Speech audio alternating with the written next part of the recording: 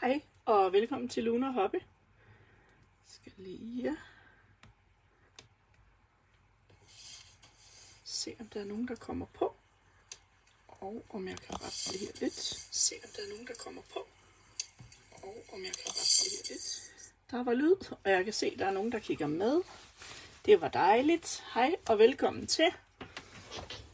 Så skal jeg lige se, om jeg kan lave plads til mig selv her. Jeg er jo mere eller mindre lige kommet øh, næsten hjem fra ferie. Så der er lige nogle ting, der lige skal indstilles her. Jeg kan se, det er lidt skævt og alt muligt andet. Fordi den her er helt lige. Vi prøver lige at dreje jer lidt, så jeg håber ikke, I bliver alt for søsyg af mit pilleri. Det var bedre. Sådan der, så kan jeg lige flytte den. Så har vi lidt mere plads her. I, hvor går det godt. Dejligt, I har lyst til at kigge med. Det er altid så hyggeligt, når man er heldig øh, at fange nogle af jer. Først så tænker jeg, at jeg lige vil vise jer øh, de kort, jeg har delt. Øh, hvad hedder det mere i dag? Jeg skal lige finde en seddel, fordi jeg har fået en besked fra Camilla. Så jeg skal lige finde det der, hvor jeg skrev det ned. Så jeg husker det. Den der. Godt. Yes. God aften og velkommen til alle sammen. Dejligt, I har tid og lyst til at lege. Og hvad er det, der skygger her? Skal jeg lige prøve at se, hvorfor jeg får skygger. Undskyld, at I lige kunne høre min hund. Men jeg tror, Søren var på vej med en skraldespand. Det kan godt give lidt ballade. Ah, nu ved jeg godt, hvad der skygger. Det er min sodavand. Den flytter vi lige øh, lidt her, så man kan skabe lidt mere plads går ikke så godt. Vi rykker den herover. Så beklager lige forvirringen her. Så tror jeg, jeg er ved at være klar til at lege med jer. Og tak fordi I gider at kigge med. Hej for det regnfulde Bornholm. Øh, her er det holdt op med at regne her midt på Sjælland. Hej alle sammen og velkommen til. Nå, skal vi kigge lidt på de kort, som jeg har delt. Øh, det er ikke noget, vi skal bruge særlig lang tid på. Det var bare ligesom, jeg synes godt, jeg lige kunne give jer sådan en, en view på, hvordan ser det så ud, når man ikke har det i et foto. Det er altid, at et foto, det, øh, det er ikke altid lige godt. Jeg har jo skrevet, at det her kort, det har jeg puttet glossy accent på, og der kan I helt tydeligt se det nu. Er der glossy accent på min paddehatte, og kun på selve skærmen. Og der er nogen, der har solskin. Det var da dejligt. Var du heldig, Ellie? så har jeg også skrevet, at jeg havde brugt, brugt den dej, der hed Wonky Edge, og jeg havde lavet selve kortet af det. Og det betyder simpelthen, at mit kort hænger sammen her. Og øh, det tror jeg, vi har vist før, hvordan man kan bruge forskellige dies til at lave rammer til selve kort. Men ellers så må I lige øh, sige til, hvis I gerne vil se, hvordan jeg laver et kort med den her wonky edge. Så har jeg egentlig bare indfarvet noget karton, og jeg har brugt gummiapan karton. Man kan godt bruge akvarel og alt muligt andet. Jeg tager som regel det, jeg har lige ved hånden, og det er typisk gummiapan. Så der har jeg farvelagt øh, noget karton, og så har jeg skåret nogle blade bagefter. Jeg har ikke helt lagt mig fast på, hvad det er, vi skal lave når det regner i Borup, lige ved siden af mig regner det, jamen det regner ikke i Viby Sjælland. Så det kan være, det kommer. det må jeg holde øje med med det. øh, det ville være fint til den her wonky edge. Ved I hvad, jeg tager lige et stykke papir, fordi øh, der er sådan flere ting, jeg skal huske i dag. Så øh, det er bedre, at jeg lige skriver ned. Og så skriver vi lige... Øh, øh, base. Godt. Øh, ja, det tænker jeg sådan lidt hvor det her kort. Så har jeg farvelagt øh, min svampe. Øh, og det har jeg faktisk også gjort på det her kort. Hvor jeg har brugt øh, squares, tror jeg den hedder, når der er tørvejr i Ejby. Lige ved Bjergerskov, det er sådan en trip-trap træsko. Mette er lige smørhullet med regnen, så. Øh, der har jeg brugt den her, øh, mener den hedder Square Die og øh, den har jeg skåret ud. Så har jeg fjernet de steder, hvor der egentlig er hvidt. der er faktisk fjernet firkanterne. Det ved jeg ikke, om man kan se helt, hvis jeg tipper det lidt. Der er ikke noget i. Jo, det kan man godt. Men de andre her har jeg lagt øh, et felt tilbage i. Man skal lige være opmærksom på, at de skal drejes lidt. Det er ikke alle, der passer i alle huller, så, så øh, sådan lidt forsigtigt, hvis man tager dem alle sammen ud, og det bliver noget rod. Så tjek lige inden, at I øh, limer det fast, at I rammer det rigtige sted. Så har jeg spredt lidt øh, ink, som jeg simpelthen bare har lavet godt vådt på en pensel, og så sjasket det på for at få lidt øh, dybde i kortet. Sværtet med en øh, ink, lavet lidt forskellige tryk, for det er den samme farve, jeg har brugt til alle mine baggrundsting her. Så har jeg brugt øh, det ene bladsæt til at lave nogle blade. Der er seks blade her omme bagved, og dem har jeg farvet med lidt antik linnen, og den samme grå, som jeg har hernede. Så har jeg farvelagt mine skærme meget nemt og simpelt, og igen puttet glossy accent på, for at få det til at changere lidt. Man kan også bruge klar embossing, hvis man ikke har glossy accent. Og så har jeg bundet noget øh, triple, tror jeg det er, sløjfe, med øh, itogarn. Og så brugt et af de fine stempler, Camilla også har fået lavet. Det sidste kort, jeg har lavet, det tænker jeg, det skulle være lidt anderledes, fordi der er jo rigtig mange med svampe på. Øhm, og når man er den sidste i rækken, så noget har man lavet forvejen, så der er noget, jeg har sorteret fra. Det kommer I ikke til at se lige nu. Det kan være, at I gør det på et andet tidspunkt. Men jeg skyndte mig simpelthen at lave det her i dag, fordi jeg synes, der skulle være noget lidt andet. For her har jeg brugt noget gammelt øh, designerpapir fra Luna Hobby, eller gammelt er det ikke, fra tidligere udgivelse. Jeg har brugt drengen fra tidligere udgivelse. Og så har jeg simpelthen brugt den her, som hedder Honeycomb. Øh, men Camilla kalder den også tandhjul, eller møtrikker, eller øh, noget i den retning. Så du, du kan bruge det lidt, som du vil, men jeg synes, den er meget maskulin. Og for at gøre den ekstra maskulin, så har jeg simpelthen brugt voks. Og Luna har jo det her øh, lystre voks, og æsken ser sådan her ud. Og den fås i alle mulige udgaver. Jeg har noget guld og noget sølv og noget perlemor. Og her har jeg simpelthen brugt sølv ved at tage det på mine fingre, og så tørre det med let eller hård hånd. I kan se, det sådan chancerer. Der er forskellige øh, måder, jeg har trykket det på. Eller jeg har brugt den samme finger. Nogle gange har jeg bare trykket meget, andre gange har jeg trykket lidt. Rigtig maskulint kort. Så har jeg taget noget itogarn, hvor at det voks, jeg havde på mine fingre, det tørte jeg af på mit itogarn. Så det har fået lidt den der sølv-effekt også på øh, alle sider, sådan mere eller mindre. Bundet en knude og limet på. Så har jeg løftet mit kort herude i enden, men kun herude i enden. Ikke om I kan fornemme, at det over på den anden side her, der er det limet til. Og det har jeg jo bare gjort med nogle 3D-puder til at rejse det for at skabe en lidt federe effekt. Jeg har ikke nået at lave indersider i min kort. Øh, men det var egentlig de kort, jeg havde lavet nu. Og så vil jeg jo øh, sådan egentlig arbejde videre ud fra, hvad I synes, vi skulle lave. Men vi starter med at vise, tak med det, øh, hvordan er jeg lavet det her øh, sådan lidt øh, maskuline kort. Når det er sådan, at vi får dejsene øh, i designteamet, så får vi dem ikke indpakket, så derfor vi også oplever, at mine ser måske lidt anderledes ud, end dem I har, hvis I allerede har købt dem.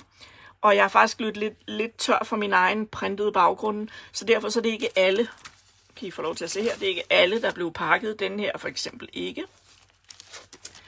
Så, øh, men det man simpelthen gør, hvis man skal lave øh, et kort ligesom det her, det kan også laves, så det åbnes på denne her side. Jeg har bare valgt at gøre det i højden. Så tager man den dej, man gerne vil have, og nu vil jeg jo godt have det op i stor størrelse. Så kontrollerer man lige i forhold til et basiskort. Hvordan, hvordan er det egentlig? Og den her er jo en lille smule mindre end et basiskort, så er det fint. Hvis den var meget mindre, så skal jeg jo være forberedt på, at jeg får et meget mindre kort. Øh, hvis den er større, så er det ikke sikkert, at det passer til en kuvert. Så man skal lige sådan lige lave en ekstra tænke øh, ting, når man skal finde ud af, at man skal gøre det her. Så tager man selvfølgelig et øh, stykke karton, og nu kan jeg jo lige tage to. Det her det er bare plain cuts. Øh, det er typisk dem, jeg leger med, hvis jeg laver kortbaser. Så vil jeg bruge gummiapans øh, karton. Det er en af de bedste kartoner, synes jeg. øh, til bare sådan nogle neutrale ting her. Og undskyld, jeg lige blev lidt hæs. Det første, jeg vil gøre, det er, at jeg vil tage et af fire ark, og så vil jeg dele det ved 4, en 8. del på den øh, lange led. Sådan. Så skulle jeg gerne få to, der er 4 en 8. del. Det gør jeg også. Så tager jeg den ene, eller den begge to vender om, og finder stedet, der hedder 6, 7 8. del i min tommer. Og jeg har jo 16. del, derfor så tager jeg to streger baglæns fra mit tal nummer 6. Og så laver jeg min falselinje. Så har jeg fået lavet et kort, der ser sådan her ud. Den er blevet lidt skæv. Nogle gange så øh, øh, passer det altså ikke helt med A4 papir, men så må man lige trimme dem, hvis den ene halvdel er blevet lidt længere til, om det var mig, der gjorde det forkert. Nogle gange får man det rykket. Nej, se, den her bliver en lille smule længere på den ene. Så er der faktisk også et lille trick, det er, at man øh, lægger den. Så tager man sin kniv og skubber lige papiret ind. Så kan man faktisk mærke, hvornår det der stykke, der er lidt kortere, det rammer på kniven. Lige så snart man rammer kanten af kniven, så er det der, man skal skære. Så skærer man lige præcis op på kanten, så kommer man ikke til at skære noget ekstra af. Det gør jeg lige på de her to. Så lægger den i.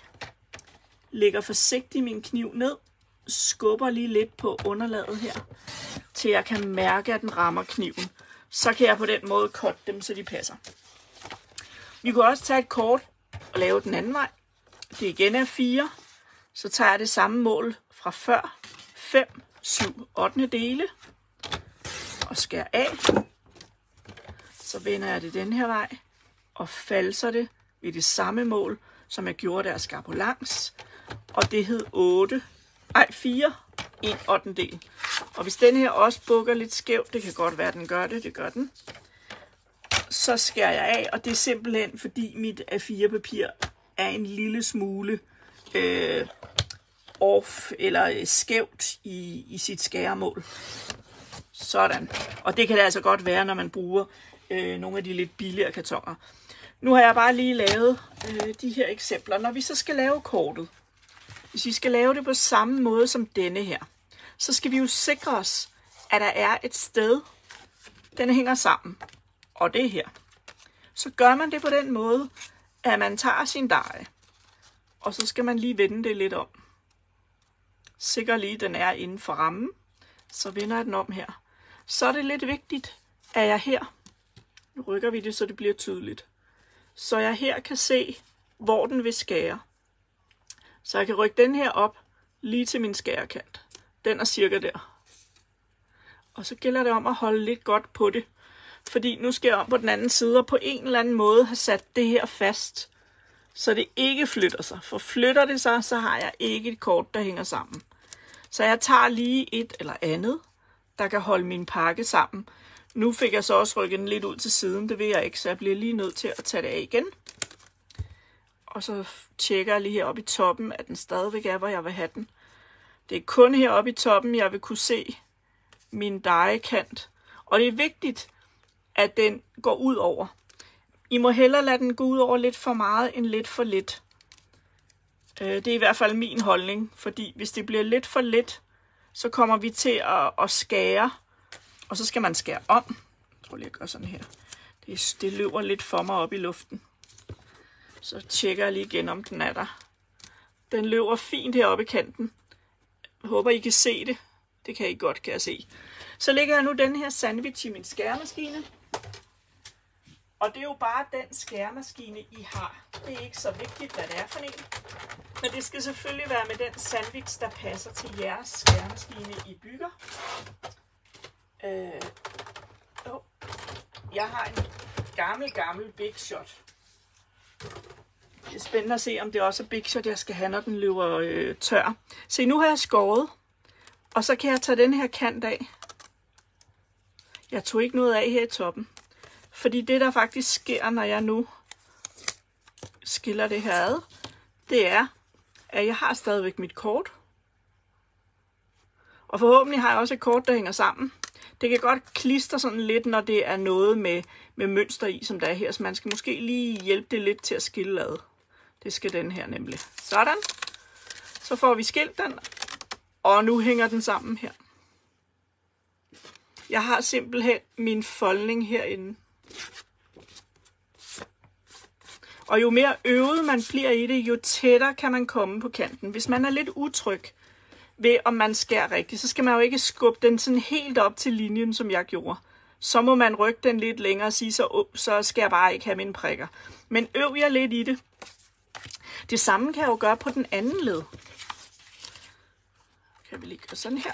Den her, den åbner her, så jeg tager lige en blymand og viser, at den herover hænger fast.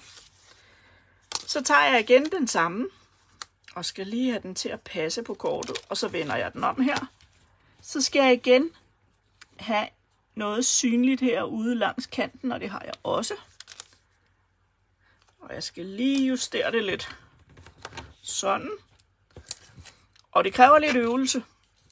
Og man må hellere tjekke, øh, hvad er det, man siger, øh, måle to gange og skære en gang. Og det er en rigtig god ting, når I prøver at lave sådan et her, fordi når man så har sat det på, så kan man lige korrigere det lidt her. Lige rykke det en lille smule. Det vil være så ærgerligt, hvis man får skåret mere end det, man vil. Og igen, så bruger vi det bare til noget andet. Husk det. Der er ingen, der skal gå grædende i seng, fordi man får lavet noget skævt i skrabværelset. Så er det på hesten igen, og prøv at bruge det til noget sjovt, det I så øh, fik lavet, som ikke er helt som det skal være. Nu tror jeg, jeg har ramt den, hvor jeg vil have den. Så skærer jeg igen over i min skæremaskine. Sådan her. Ups, det siger knæk og bræk. Jeg fik ikke lagt den skævt nok. Hvis det klikker meget, når I skærer, så er det typisk, fordi man får den lige kant. Så hvis I kan vride jeres dej lidt, der har lige kanter, så er det meget bedre for maskinen. Men jeg vil så sige, at min har overlevet masser af år. Nu er det igen kun på tre sider. Mit karton det slipper. Og forhåbentlig hænger det så sammen. Jeg vender det lige. Og vi skiller det lige lidt ad. Og nu hænger det sammen, ligesom før.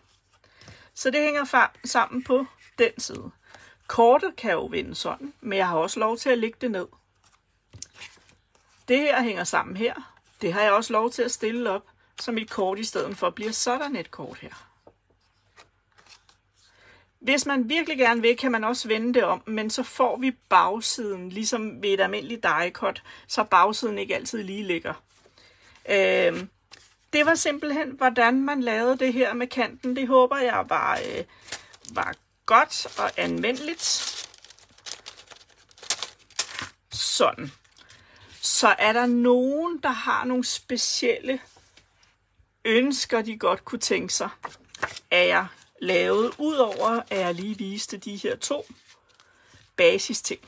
Hvis man er lidt usikker på, hvad er det nu, der var nyt, så kan vi lynhurtigt løbe det igennem. Der er nogle stempler med hygge. Der er noget stempel med dig og mig. Der er noget særligt og tak for dig.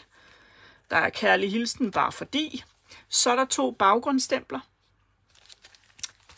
Så er der nogle svampe. Så er der nogle forskellige øh, baggrunds... Der lige der. Forskellige baggrunds øh, dice. Og så er der to sæt blade. Øh, et askblad. Og jeg ved ikke helt, om det der det også er ask. Det er det måske bare en anden udgave. Et rundt blad og nogle takket blade. Så er der noget af det, I tænker, jeg specielt skal lege med? Øh, eller skal jeg bare gå i gang med at farve nogle øh, svampe og nogle blade for eksempel. Det er jo også, så kan I se lidt, hvordan jeg gør det øh, sådan teknisk. Men har I nogle specielle ønsker, så må I gerne byde ind med dem. Jo, så var der jo selvfølgelig den her Wonky Edge dye. Så I får lige et lille øjeblik til at øh, skrive, hvis der er noget, I tænker, Ja tak, sus. Det der, det må du. Det må du gerne. Svampe og blade. Den kunne jeg se. Jeg elsker farverne. Bum, bum, bum. Du, du, du. Hvis jeg ikke har haft gang i noget af det nye, så skal det næsten være det. Jamen, det har jeg. Det kan I jo se. Jeg har haft gang i noget af det nye. Og jeg har også haft gang i lidt andre ting, som jeg ikke har vist jer. Men det her, det er det, der er det officielle. Øh, jeg ændrede lidt retning, hvor jeg gik hen i takt med, at jeg så, hvad de andre havde lavet, for det ikke skulle blive helt det samme. Men svamper og svamper, svampe og blade, det kan sagtens være noget af det, vi laver noget med. Alt det nye. Ja, det er også, øh, det er også et godt bud med det. Svampe, yes. Der er jo mange måder at gøre det på. Man kan øh, tage sin dice, og så kan man sige, at hvis man laver den her, som jeg lige fik at vide i går, hedder en rød fluesvamp, denne her, så kan man jo skære baggrunden ud i hvid, og selve skærmens øh, overside ud i rød. Og så har man lavet en rød fluesvamp. Man kan også øh, gøre lidt ligesom jeg har gjort her, og som der også er nede på det her kort. Man kan skære det hele i hvidt, og så kan man lege, øh, hvad hedder det, med farverne, som man vil, og en svamp kan jo se ud præcis som man vil. Hvis man gerne vil have, at det skal være lidt naturtro, så øh, tager jeg altid min telefon frem, og så skriver jeg svampe, og så scroller jeg lidt igennem til jeg finder et billede, og så tænker jeg, at den der svamp vil jeg prøve at lave. Øh, det kan jeg så ikke lige i det her tilfælde, fordi at min telefon den hænger det op. Øh, så jeg kan ikke, øh, jeg kan ikke google noget. Men vi kan i hvert fald godt skære nogle svampe. Og til det, der tror jeg bare, at jeg tager en af mine små skæremaskiner. Sådan her. Og det er jo ikke fordi, man behøver at lave svampekort. Øh, men hvis vi skal holde os til, hvad der er i det nye, så, øh, så vil svampe være, være et rigtig godt bud. Jeg skal lige finde, jeg har sådan forskellige rester, så jeg finder lige nogle af dem, som er af det rigtige karton. Jeg kan også godt bruge akvarelkarton og alt muligt andet. Øh, det gør jeg bare ikke særlig meget, og øh, måske er det lidt en kombi af, at jeg er doven. Det kan også være en kombi af, at jeg øh, øh er for nærige til at vil, vil købe øh, dyrt karton for at skære i det. Øh, det tænker lidt, det er sådan, hvad man nu, hvad man nu synes. Men jeg kan igen, altså jeg kan godt lide at bruge det, jeg har ved hånden. Og jeg har mange hvide rester fra gummiapan, blandt andet også af Play Cut. Men lige i det her tilfælde, så tror jeg, at gummiapan er bedst, fordi jeg skal tilføje vand til det her. Øh, Camilla og Helle, tror jeg det er, øh, har lavet nogle, øh, nogle billeder, røv, nogle kort, hvor de har øh, skrevet, at de har brugt spray. Altså de har simpelthen valgt at, øh, hvad hedder det, bruge øh, distress spray øh, til at farvelægge deres karton. Det kan man også, men man kan altså også bruge de ink, som vi allerede har, hvis man nu ikke har spray. Hvis man ikke er kommet til at spray, det, det, det skal jeg også investere i. Der er så mange ting, vi kan investere i, og vi skal virkelig passe på, at vi ikke spreder os for meget. For så ender det altså med, at vi køber noget, der kun ligger i skuffen. Så øh, er man nybegynder, så prøv at holde sig til nogle lidt få enkle ting. Find ud af, hvad man er til. Er man til meget med stempel og farvelægning, så kan man gå mere den vej. Øh, er det kort, man vil lave, så skal man selvfølgelig have lidt, der dækker nogle, nogle gængse korttyper, som blandt andet nogle af alle de her basis ting, som Barto har lavet, og mange af de andre designer også laver sådan nogle basiselementer. Men prøv at lade være med at øh, komme på den her med, at du skal have det hele, fordi det, det kommer du ikke til at få. Øh, du kan simpelthen ikke overskue, at du skal have det hele. Det bliver nødt til at indrømme. Øh, jeg vil også gerne have det hele. Min økonomi siger nej, mit hjerte siger ja selvfølgelig. Og så siger kæresten, nul putte, hvor skal det være henne? Så øh, der er sådan flere ting, der spiller ind i, hvorfor vi simpelthen ikke skal have hele, øh, hvad hedder det, alle de muligheder, der er. Det vil være så fantastisk. Nu skal jeg bare lige nogle, øh, nogle her. Jeg kunne godt have lavet nogle i forvejen, men øh, det har jeg altså ikke gjort. Men så kan I også se, at der ikke er noget snyd. Det er helt hvidt, det vi laver her, og det er bare ganske almindelig karton. Og jeg har måske mistet lidt overblikket over, hvad det er, jeg mangler at skære. Det kunne være, at vi lige skulle kigge. Vi har et sæt, så mangler vi en stor. Den har vi her. Så har vi et sæt her, så mangler vi en lille. Det er den der. Så mangler vi nogle, nogle grene her, eller hvad det hedder. Det hedder stilke. Stilke hedder det. Tror jeg nok. Jeg ved det egentlig ikke. Jeg må indrømme, at jeg er ikke svampeekspert øh, på nogen som helst måder. Jeg har googlet mig til at lave svampe. Jeg spiser ikke svampe. Så øh, jeg hverken jagter dem eller handler dem ned i butikken. Men det er da sejt, når nogen, nogen kan alt det der med svampe, synes jeg. Det er bare ikke lige mig. Nå, jeg havde jo fået sådan en seddel af Camilla, eller rettere sagt, øh, jeg har fået øh, nogle beskeder fra Camilla, og så har jeg lavet en seddel. Noget af det, jeg skulle huske at sige, øh, så det øh, jeg kan godt være, at jeg kommer til at sige det et par gange, og det er jo, at Luna Hobby skal til øh, øh, messe ude øh, i Ostedhallen, sådan lige her ved siden af mig. Det er min, en af mine nabobyer, og øh, jeg skal også være der. Øh, jeg skal ikke lave noget øh, kurser eller demonstrationer eller noget. Jeg skal bare være sus, der øh, laver ting til mig selv. Men I er selvfølgelig velkommen til at kigge forbi. Og som altid, så vil jeg have mit skilt op øh, med mit logo på, så I forholdsvis nemt kan finde, hvor jeg er. Men i forbindelse med, at Luna skal på messe, så sker der jo det, at de pakker butikken ned. Og øh, allerede fra i morgen tidlig, så er de i fuld gang med pakningen, øh, hvis de ikke allerede øh, er færdige. Fordi at de skal simpelthen ud og sætte det op. Så kommer man i Luna Hobby fra i morgen og weekenden over. Det kan man sagtens, der er åben, men øh, skrabdelen, det er altså minimalt. Øh, hvis man i det hele taget kan finde noget. Øh, jeg har ikke selv været forbi, men hvis I har prøvet det før, så ved I, der er ikke ret meget, når, øh, når Luna skal på skrab med sig. Og så øh, i forbindelse med det, så weekenden efter, så er der så skrab.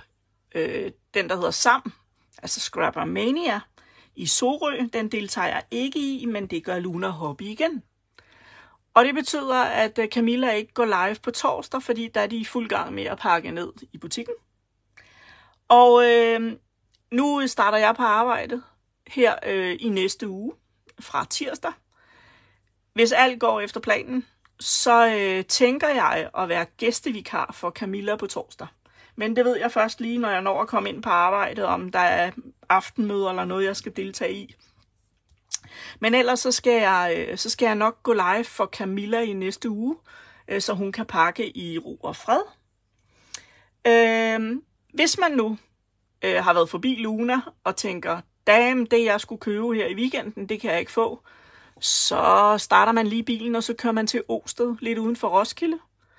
Og øh, så betaler man et lille indgangsgebyr, tror jeg det er, og så kan man komme ind og hilse på. Øh, det kan man både lørdag og søndag. Og jeg tror, det er fra kl. 11, man kan komme ind som gæst. Men det kan man i hvert fald se, hvis man øh, går ind i den gruppe, der hedder øh, øh, Scrapbooking i Osted, tror jeg, den hedder. Ellers er jeg sikker på, at, at der er et par af jer øh, damer, der lige redder mig, hvis jeg siger noget forkert. Det er ikke altid, man kan huske det hele. Nå, hvis jeg skal farvelægge sådan nogle øh, svampe her, så i første omgang, så skal jeg jo beslutte, hvad er det, jeg gerne vil lave? Hvordan skal øh, min svampe se ud? Og nu har jeg jo lavet nogle, der sådan er meget øh, øh, almindelige. Så hvorfor ikke lave nogen, som ikke er almindelige? Og jeg skal lige finde nogle plader her. Sådan.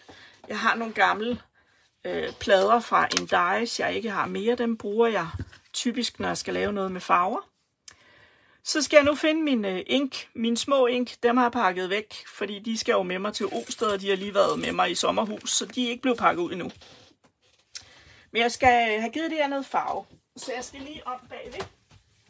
Og så skal jeg have åbnet sådan et lidt smart skab, som jeg på et tidspunkt skal vise jer, men det bliver ikke lige i dag. Jeg skal have noget... Uh, jeg skal have noget sværte. Hvad med, om vi lavede nogle svampe, der var orange og gul? Hov, det var ikke dem her. Det var over i den anden. Sådan her og sådan her. Og den der måske. Nej. Nej, ikke den. Vi vil have noget mere, noget mere farve. Sådan. Se, det er sådan lidt over i det vilde. Vi skal også have noget, noget til at lave nogle blade med, tænker jeg. Så der tror jeg lige, vi tager den der. Måske. Måske. Vi tager lige en. Den der vil jeg også have. Så. Nu har jeg alle mulige farver. Jeg har ikke skåret bladene endnu, men det skal vi nok kigge på. Når jeg skal farvelægge det her, så øh, vil jeg tage en vandpensel. Jeg tror egentlig også, jeg skal have lidt øh, brunt. Nu starter jeg lige med at tage de her stilke frem med dem. Og hvis der er nogen, der lige spørger mig om et eller andet, jeg ikke ser, så øh, spørg bare lige igen, fordi jeg kigger ned her. Øh. Hvad mener du? Nej, det er ikke lige af mig. Øh, jeg, øh, at spise svampe, det er ikke lige mig, nej. Men jeg kan sagtens faglægge svampe. Det er der ingen problemer i. Jeg skal lige have nogle grå nuancer. Det var den der, tror jeg, ville have. Sådan. Eller brune nuancer. Det jeg så simpelthen vil gøre, det er, at når jeg skal farve min stilk, så øh, skal den jo have et eller andet, og jeg kan ikke lide, at det bare er ensfarvet. Så jeg starter med noget antik linnen. Øh, det kunne være hvilken som helst farve, man vælger at bruge. Jeg tager antik linnen, og så finder jeg lige min vandpensel hernede i min næsten pakkede taske. Så den skal nok have noget, noget at leve af. Så blev Lasse lige sur igen på farmanden dernede. Beklager, at det skal larme. Og jeg putter lige noget vand herned i min vandpensel. Sådan. Det jeg så simpelthen øh, gør nu, sørg lige for, at den er våd, at jeg har haft trykket noget farve, øh, eller noget vand, ud i min pensel. Og det kan jeg mærke, at jeg har, så tager jeg lige et stykke køkkenrulle. Det er altid rart lige at have ved hånden. Når jeg så skal til at farvelægge øh, sådan nogle ting her. Nu har jeg min farve her. Nu trykker jeg så lidt vand ud. Og jeg starter lige herinde i midten. Hvis man bruger de her store, så laver de typisk sådan et hulrum ind i midten. Og nu har jeg ikke særlig meget farve, men lidt farve har jeg her. Så vælger jeg simpelthen lige starte med, at jeg giver hele stilken en tur. Hvis farven er for lys, så tager vi lige lidt mere. Se, så får den lige lidt mere. Så er det også lidt nemmere for jer at se, hvad jeg laver, når, når farven bliver lidt synligere. Jeg skal lige huske at gøre det der, hvor min negl også sidder, fordi ellers så bliver der sådan en lys blamage. Så nu starter vi lige med, at alt det her får noget farve. Og det er som sagt vores stilk, vi går i gang med. Skærmen, tænker jeg, der, der, der bliver vi lidt vildere og går lidt ud og laver det i nogle lidt andre farver, end det vi normalt ville lave svampene i, tror jeg. Jeg tror faktisk også lige, at jeg tager de her skærme her. Fordi jeg synes ikke bare nødvendigvis, at de behøver at være helt, øh, helt hvide indenunder. Så vi giver dem også lige lidt farve her. Henter igen bare lidt af farven. Og giver den lige lidt.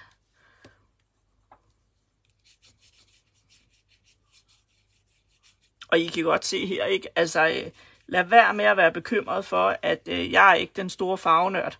Det er nemlig det, jeg synes, der er det gode ved det her øh, ink. Det er jo øh, vandbaseret. Øh, og så fungerer det lidt ligesom akvarel, hvis man kender akvarelfarvning. Og selvfølgelig jo mere vand jeg putter på, jo mere bulet bliver det. Men det skal nok blive fladt igen, når det tør op. Nu har jeg lige givet det her noget basisfarve, så vil jeg godt have lidt mere liv på de her stilke. Og det kan man jo gøre præcis som man vil. Nu tager jeg den, der hedder Winters Photo. Og tror bare, jeg ligger sådan en lille stribe her. Så har jeg taget den, der hedder Fried Burlap. Og jeg bruger bare ink. Jeg kan også bruge Oxide hvis man har oxide. Den bliver bare lidt mere kalket i farven. Øh, og kan lave sådan nogle lidt vandpletter, øh, når jeg øh, arbejder lidt med det øh, og vand. Så tager jeg lidt af den brune farve, og så kan jeg jo ligesom beslutte, hvor synes jeg gerne, jeg vil have et eller andet på. Og det eneste, jeg gør, det er, at jeg klatter sådan lidt med det her. Jeg gør ikke så meget ud af det. Åh, de der var lidt fugtige. Lad jeg lige hånden i. Og jeg behøver ikke at gøre det på den samme måde, så øh, jeg klatter lidt her og der. Den der skal have lidt hernede ved bølgekanten. Så. Så ikke noget sådan øh, meget systemmæssigt eller noget. Så tager vi lige lidt vand over i den her lidt mørkere farve. Og så kan jeg jo give det lidt mere, hvis jeg synes, det skal have lidt mere... Hvis det bliver for vådt, lige nu der lader vandet faktisk arbejde for mig, men bliver det for vådt, så tager jeg mit køkkenrulle, og så suger jeg lidt af vandet op. Men nu prikker jeg egentlig bare sådan lidt her, og trækker lidt i, i den her farve, jeg lægger på. Jeg kan også trække den lidt herop, hvis jeg synes, den ikke havde nok. Den skal jeg lidt her og der, og lege, lege, lege, præcis som man har lyst. Man skal ikke altid tænke så meget over det, og bare kaste noget på. Og så ved jeg godt, at der er nogen, der siger, at det ser altid så nemt ud, når du gør det, Sus. Men når jeg gør det, så er det rigtig svært. Men jeg tror, det er fordi, hvis det bliver svært, så overtænker man det for meget. Det kan jeg også komme til. Nu går jeg lige herover og trykker lidt vand ud, imens at jeg øh, renser min pensel for den brune farve. Vi mangler lige den der, så vi tager lige lidt mere. Nu tager vi bare en blanding.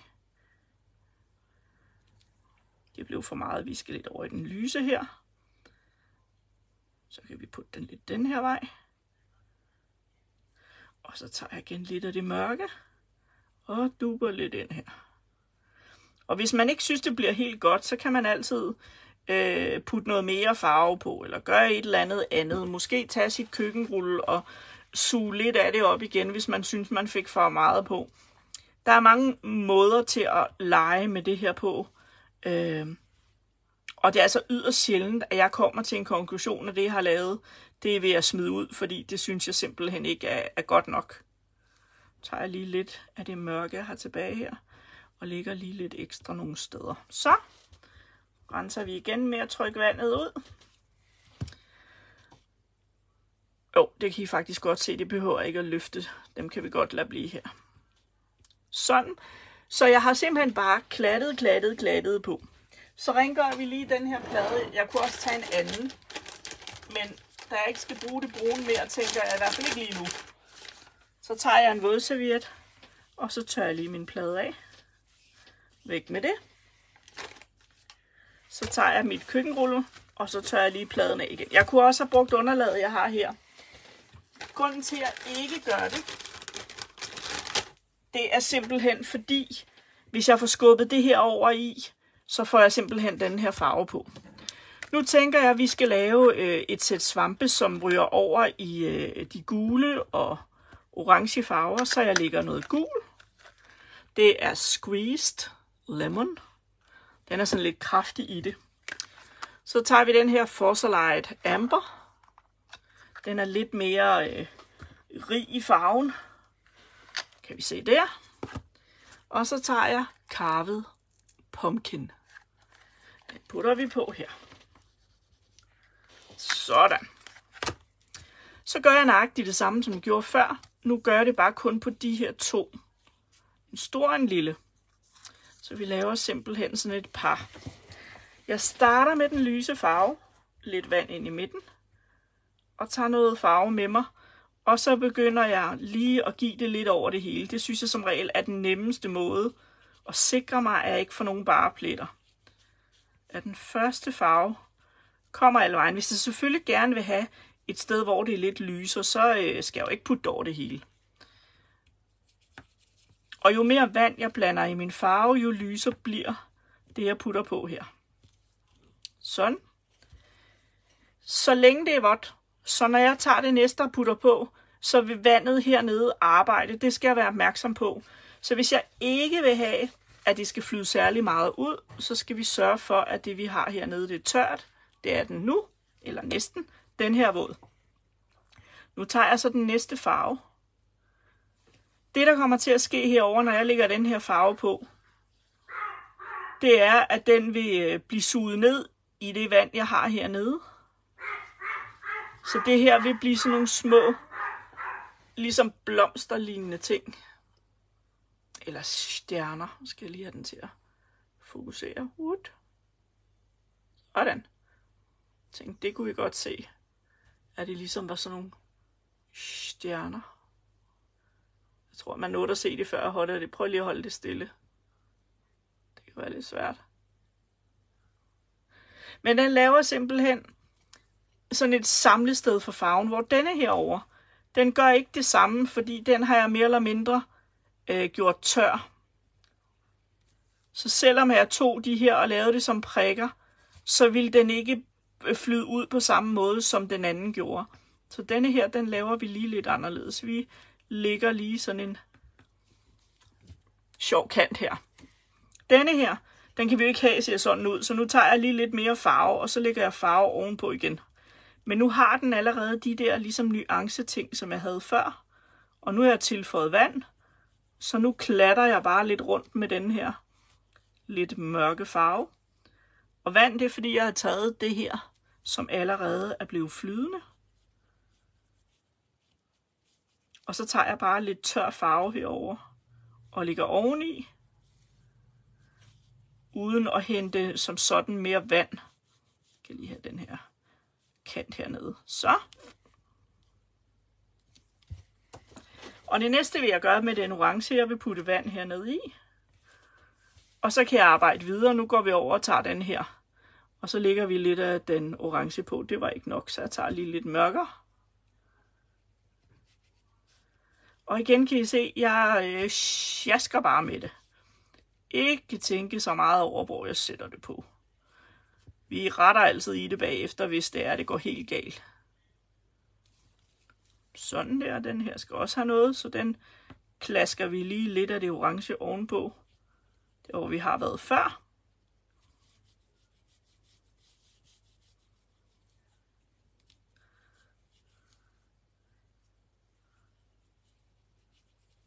Så. Så det her det er en meget, meget, meget nem måde at farvelægge på. Og man bliver ikke øh, ekspert i det her fra dag 1. Og alligevel vil jeg sige, at det gør I, fordi hvis I lader være med at være kritiske, så er det helt fint, det I vælger at gøre. Det vil se forskelligt ud hver gang. Man kan arbejde videre med det, man kan lade det tørre op, så kan jeg putte noget mere farve på, måske noget mere øh, kraftigt, hvis øh, farven ikke er god nok. Så finder jeg jo bare en anden farve. Hvis den er for øh, våd, så duber jeg den her. Jeg trykker ikke lige nu, øh, tør jeg bare min, min pensel af.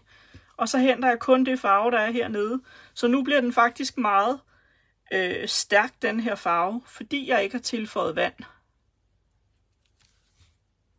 Jeg bruger bare penslen, som den er, og henter min farve herned, og den, det eneste farven gør, det er, at den blander sig i den fugt, jeg måtte have på mit underlag, fordi jeg ikke trykker herpå. Jeg skal lige have lidt mere. Selvfølgelig kan jeg godt komme til at overfarve det for meget, hvor jeg sådan til sidst tænker, at øh, nu blev det for mørkt, øh, eller det her inden er blevet for lyst, jamen så kan jeg bagefter tilføje lidt farve på det, hvis jeg vil. Man skal ikke være så, øh, så bange. Jeg kan altid gå tilbage her og tage lidt af det gule igen og sige, den der gule, den blev lidt for lys, nu ligger jeg lidt mere gul herind. Og det blev den også herover, så vi ligger lige lidt mere gul herind. Så bare ved at sidde og klatte lidt med de her farver, så øh, kan jeg lave en svamp, uden at jeg egentlig tænker, at jeg er sådan den store kunstner, hvad det her angår. Som sagt, jeg er ikke svampespecialist, så vi er ude i fantasy-svampe her.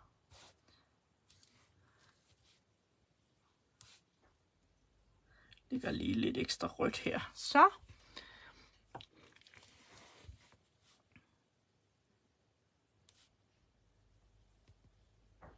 Så skal vi lade være med at gøre mere, så ødelægger vi det. Så her har vi lavet nogle øh, gule svampe. Der er lidt vådt her, hvor det ligger. Hvis jeg gerne vil have det tørre lidt hurtigere, så øh, lægger jeg det lige op på et øh, stykke køkkenrulle, så det ikke suger den farve, der er hernede. Så vil jeg rengøre min plade, fordi de to andre svampe, dem tænker jeg ikke skal være gule. Hvad siger I? Skal vi lave nogle øh, blå svampe? Kunne det ikke være en idé? Vi skal ikke altid lave det sådan mest oplagte. Eller har I en anden farve? Lilla måske? Kom gerne med bud på, hvilken farve vi skal lave de sidste to svampe her.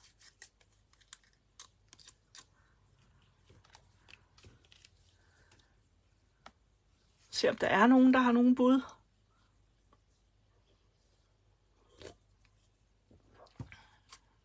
Det har I måske slet ikke, eller skriver I, og jeg bare ikke kan se det selv. Grøn. Grønne svampe. Jamen, jeg tror, de kommer til at gemme sig lidt, når jeg laver blade. Skal bladene ikke være grønne? Men jeg kan godt lave grønne svampe. Lyserød og blå.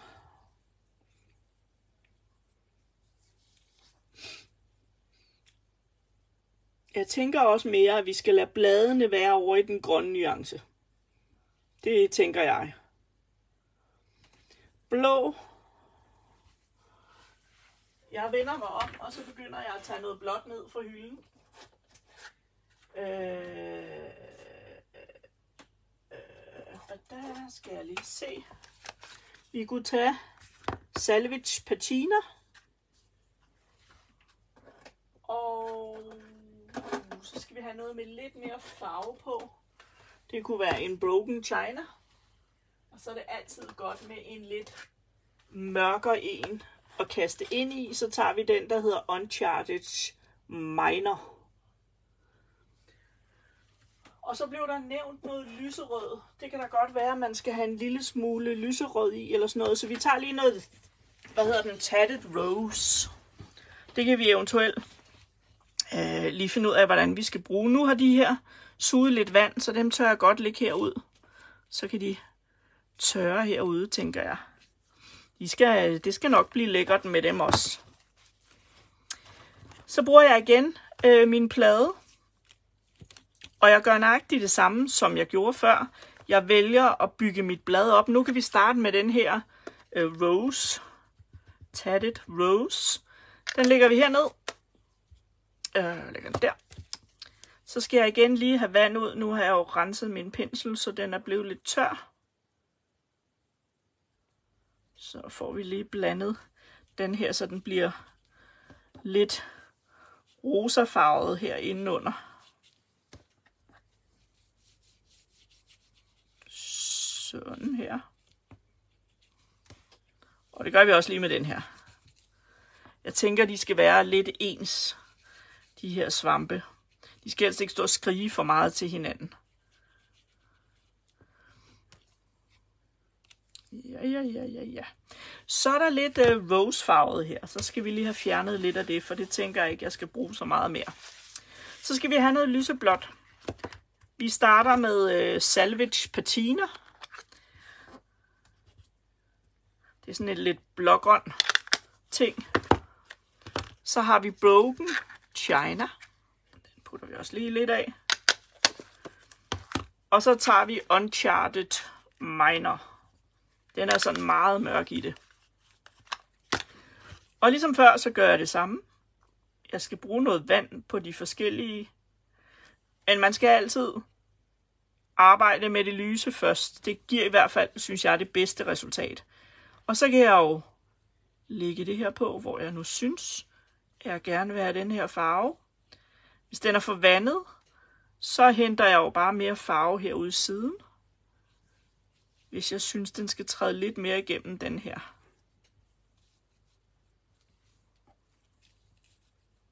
Og da de ikke skal ligne hinanden, så tænker jeg, at der skal være en lille bitte smule sådan lys til over af den der sådan lidt lyserøde farve. Sådan der. Så tager vi lige den anden her. Og der tænker jeg, at det her inde i midten, det prøver vi at holde sådan lidt i den lyse farve. Og igen har jeg ikke nok, eller bliver farven for lys, øh, eller ikke som jeg forventede, så igen læg noget mere sværte ned, eller tage farven ud af jeres pensel, så der ikke er så meget øh, øh, væske i selve penslen. Nu hopper jeg i den næste farve, og trykker ikke rigtigt på penslen. Jeg bruger bare det, det farve, som øh, pensel, den synes jeg skal have lov til at have med. Igen, hvis jeg ikke synes, at jeg får nok af, af den blå nuance, jeg gerne vil have, så øh, duber jeg min spids lidt tør for vand, fordi så bliver min farve bare en smule mere kraftig. Sådan. Og vi lægger også lige her. Jeg skal nok huske at kigge på, hvis der er nogen, der skriver et eller andet.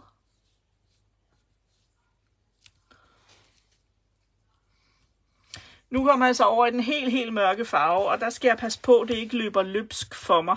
Så jeg duber lige lidt af min pensel, øh, af fugten af min pensel, og så starter vi ind i den her vandklat. Og så skal jeg ligesom afprøve, hvordan bliver min farve. Jeg skal også passe på, at det ikke er for vådt, så jeg tror lige, at duber en gang her. Sådan, så flytter jeg noget af farven herover. Så øh, kan jeg begynde at lægge den her farve der, hvor jeg ved, der er stadigvæk fugt, så vandet kommer til at løbe lidt med den, så jeg kører med meget let hånd, øh, så den ikke pludselig bliver sådan helt vildt mørk for mig. Det kan vi altid gøre den til, når vi har leget lidt med det her. Så kan man altid tilføje noget mere. Og tørre det ikke af sig selv, det her, så kan jeg jo altid øh, tage en øh, varmeblæser og få, få tørret det med så det går lidt hurtigere. Det kan også lige lidt her rundt om hullerne.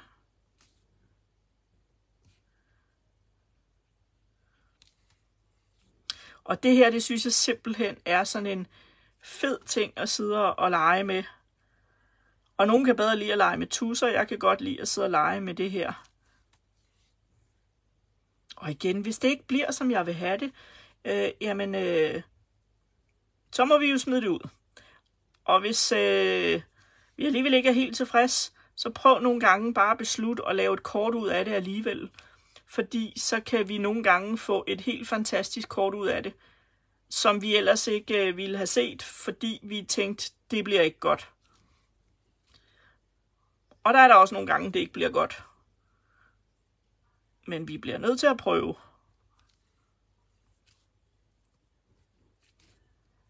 Og igen, jeg schusser mig lidt frem.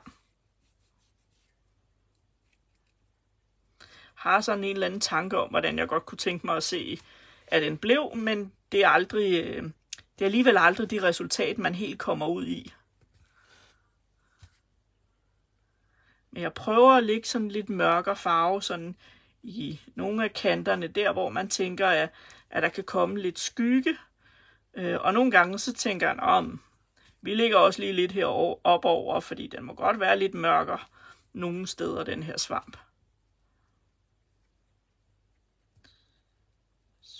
Så bare lege, lege, lege. Nu tænker jeg, at den er ved at blive lidt for mørk herovre, så vi tager lige... Jeg har taget lidt vand på her, og så lægger jeg lige det ovenpå her. Så kan jeg tage lidt af det kraftige farve af. Ikke meget, men lidt. Og så tager vi lige den her fra tidligere og lægger lidt igen. Det kan godt være, at vi er ved at få ødelagt hele det her hul. Jeg skal lige have noget, noget mørkt heroppe.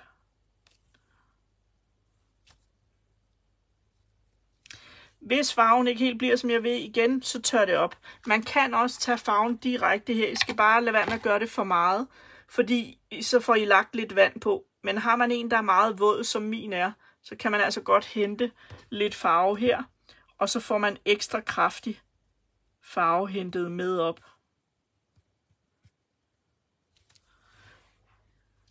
Men igen, pas på, det ikke bliver for meget.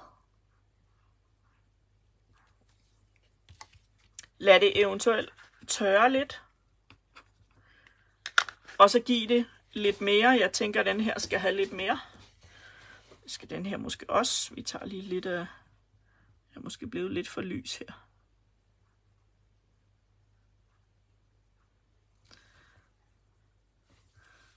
Men igen, pas på, ikke vi får det overgjort, så vi ødelægger lidt noget af det lækre, vi har fået lavet. Fordi man tænker, at den skal lige lidt mere. Nu kan jeg lige give den en kant hernede i bunden. Sådan, og jeg kan egentlig også godt lide, at den bliver lidt mere mørk heroppe i toppen. Så der ligger vi lige lidt og ser, ser hvordan vandet, der stadigvæk ligger heroppe, det kommer til at arbejde med den her mørke farve, med at trække det ned i noget af det andet. Det er jo det, som akvarel kan. Det er, at det kan hjælpe dig med at flytte på farven.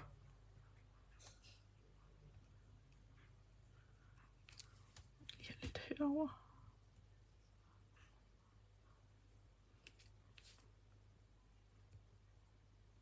Så sus pas på, hun ikke ødelægger det, hun har gang i. Så. Så fik jeg lynhurtigt, næsten, farvelagt nogle svampe. Bare ved at tage noget ink på og bruge noget vand. Hvis man ikke har vandpensel, kan man altså godt bruge almindelige pensler. Jeg vil bare anbefale, at I får investeret i noget vandpensel, fordi det er så meget nemmere. Og I skal ikke have en vandpensel per farve. Denne her, den bliver brugt til blå, grøn, rød, gul, øh, alle alverdens farver. Jeg skyller den bare godt igennem, når jeg er færdig, ved at trykke vand ud og sikre mig, at farven ikke løber igennem. Det gør den ikke. Og så lader jeg den stå med det her vand i, fordi jeg bruger dem ret tit. Hvis der er langt imellem, at jeg bruger dem, så øh, bør man nok tage det af. Jeg kan se, at det her vand, det har stået øh, heroppe i mit vindue, imens jeg har været på ferie. Og jeg ved ikke, om I kan se det, men for mig er det en lille smule grønlig, men da jeg ikke skal drikke det, så er der altså ikke noget farligt ved at bruge det til det her øh, formål. Nu de her ting, de skal tørre, og det her, det er jo igen lidt vådt. Så nu tager vi lige et nyt stykke køkkenrulle, så jeg lige kan give det her en bedre mulighed for at tørre. Jeg skal også lige have tørt det her af, fordi jeg skal jo helst ikke have den blå farve på vores blade. Og bladene, dem vil jeg gøre på en lidt anden måde. Jeg kunne godt sidde og farvelægge hver enkelt blad, og så beslutte, hvor jeg egentlig gerne vil have farven hen, men det, det kommer jeg ikke til at gøre. Jeg vælger simpelthen at gøre det på en anden måde. Så kan I også lige se den teknik. Jeg fjerner lige nogle af alle de her ink. Så det er godt at have lidt bordplads her ved siden af, så øh, ups. Det jeg gør, det er, at jeg tager simpelthen et stykke karton. Og så beslutter jeg lidt, hvad er det for nogle nuancer, jeg gerne vil have på min blad. Og så er der mange forskellige måder at gøre det på. Men jeg vil typisk, så vil jeg kigge på mine farver. Og så vil jeg starte med en lys farve. Og hvordan I påfører den, det er igen helt op til jer. Nu kan vi prøve at bruge de her øh, make-up pensler. Det her det er den, jeg bruger til de lyserøde nuancer, eller lysegrønne, undskyld, nuancer. Det ser ikke sådan ud, men det er det. Det er de lysergrønne. Og jeg bruger dem jo også uanset om det er ink eller oxide. Nu vælger jeg at lave det her med ink. Vi kunne også godt prøve at lave nogle med oxide, men øh, jeg vil simpelthen bare gå ned og lægge noget af det her farve på forskellige steder på mit kartoner. Jeg kan jo så længe jeg bruger den lyse farve, så behøver jeg ikke at være så påpasselig med, hvor jeg putter det hen. Oh. Sådan. Det her, det var Crushed Olive. Så synes jeg, vi skal have en lidt lysere, men jeg har jo noget farve her på, så jeg kører lige lidt af det af.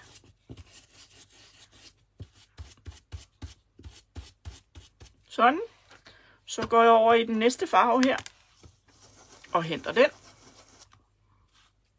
Det ser jeg skal lidt op i billedet. Og så vil jeg begynde at lægge den her farve på.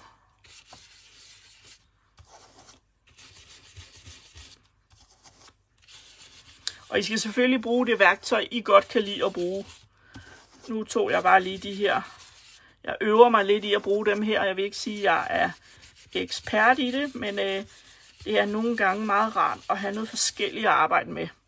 Det var Twisted Citron. Så hvis jeg gerne vil have noget, der er lidt mere øh, grønt, så skal jeg altså overbruge den her Moved Lawn. Nu synes jeg, vi er lidt over i de lidt mørkere grønner, grønnere. Så øh, jeg finder en anden grøn, som jeg har i lidt mørkere udgaver. Og så henter vi lidt af den her Moved Lawn. Den er sådan lidt kraftig grøn.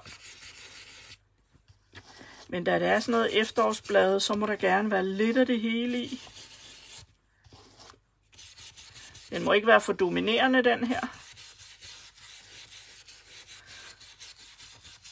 Sådan. Og så vil jeg, tænker jeg, hoppe over i den her Peeled Paint. Som også er en af de lidt mørkere kategorier. Og så vil jeg også putte den på. Og I kan godt se her, altså, jeg har ikke noget specielt i tanken. Jeg har måske en eller anden idé om, hvad det er for nogle farver, jeg gerne vil have, der skal være synlige eller ikke synlige på de her blade. Men nu kan jeg jo putte alt det mørke på. Hvis jeg ikke synes, det er mørkt nok, så kan jeg tage en mørkere farve og, og putte på. Og på den måde skabe nogle blade med nuance i uden at det behøver at være noget sådan smart fancy og alt muligt andet. Så tager vi lige bladene her. Nu skal jeg lige finde den rigtige med blade i. Det er nemlig dem, der ikke er blevet pakket helt færdig. Her har jeg faktisk de blade, som I kan se på det her kort. De er faktisk lavet med Rusty Hinge Crackling Campfire, Peeled Paint og Old Paper. Ikke nødvendigvis i den rækkefølge, men det er de blade, jeg har brugt. Så øh, nu kan vi jo lige skære det ene type blad på denne her dej, og det vil jeg bare gøre igen i min lille skæremaskine. Så jeg skal lige have de her gjort lidt mindre, så de kan være der.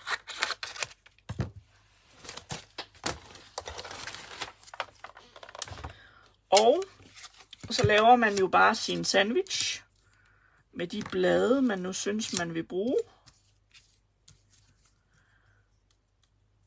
Og jeg vil simpelthen bare lægge dem her på, så vi kan få mest muligt grønt på, sådan. Når jeg så skåret dem, hvis jeg synes, de mangler et twist, så kunne jeg for eksempel sværte dem i kanten, for lige at give dem lidt ekstra men jeg ved først, hvordan de bliver, når jeg skærer dem ud.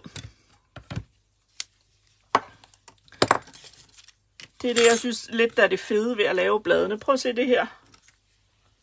Det havde jeg jo ikke nogen idé om, at det ville se sådan ud, før jeg egentlig fik øh, det skåret. Jeg skal lige have lidt hjælp til at få dem ud her. Det store blad. Og det lille blad. Og så kan vi lige tage en tur mere og skære en stribe til. Lige så godt lave dem, når vi nu har farvelagt. Så.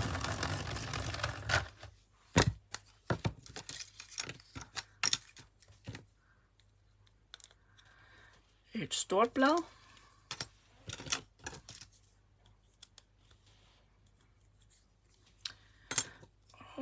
et lille blad. Og så skærer vi også lige noget med det sidste stykke, vi har tilbage her. Så kan vi lave nogle andre til den anden. Se, det skal nok være nogle af de små her. Vi laver lige to små. Sådan.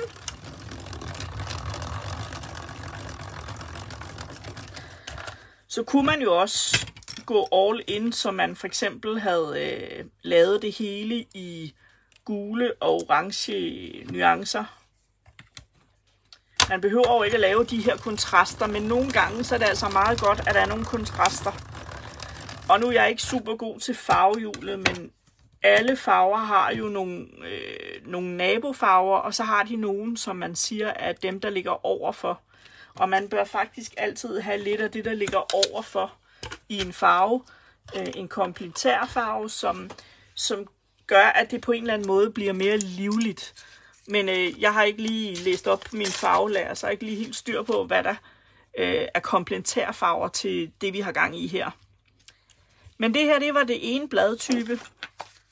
Så øh, hvis vi lige skal lave lidt af det andet bladtype, skal vi så også lave grønne blade til det? Til denne her?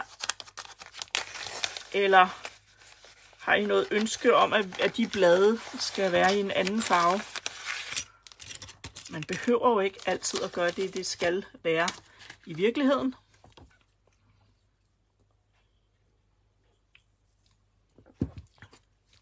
Så hvis I har nogen bud til, hvilken farve vi skal lave de næste blade i. Jeg lukker lige den grønne her lidt. Og rykker dem her over. Sådan. Den er stadigvæk lidt fugtig. Den kan godt blive her søppe. Ingen bud, ingen bud. Jeg fjerner også lige dem her. Det kan hurtigt blive sådan noget rod her på Susses bord. Blade til de blå. Jo, det kunne godt være til de blå. Jeg har ikke som sådan bestemt, hvad der skulle høre til hvad.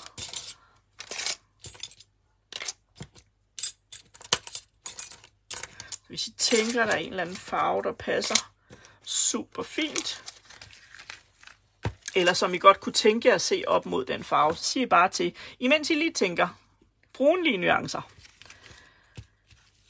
Sådan orange og brun til de blå.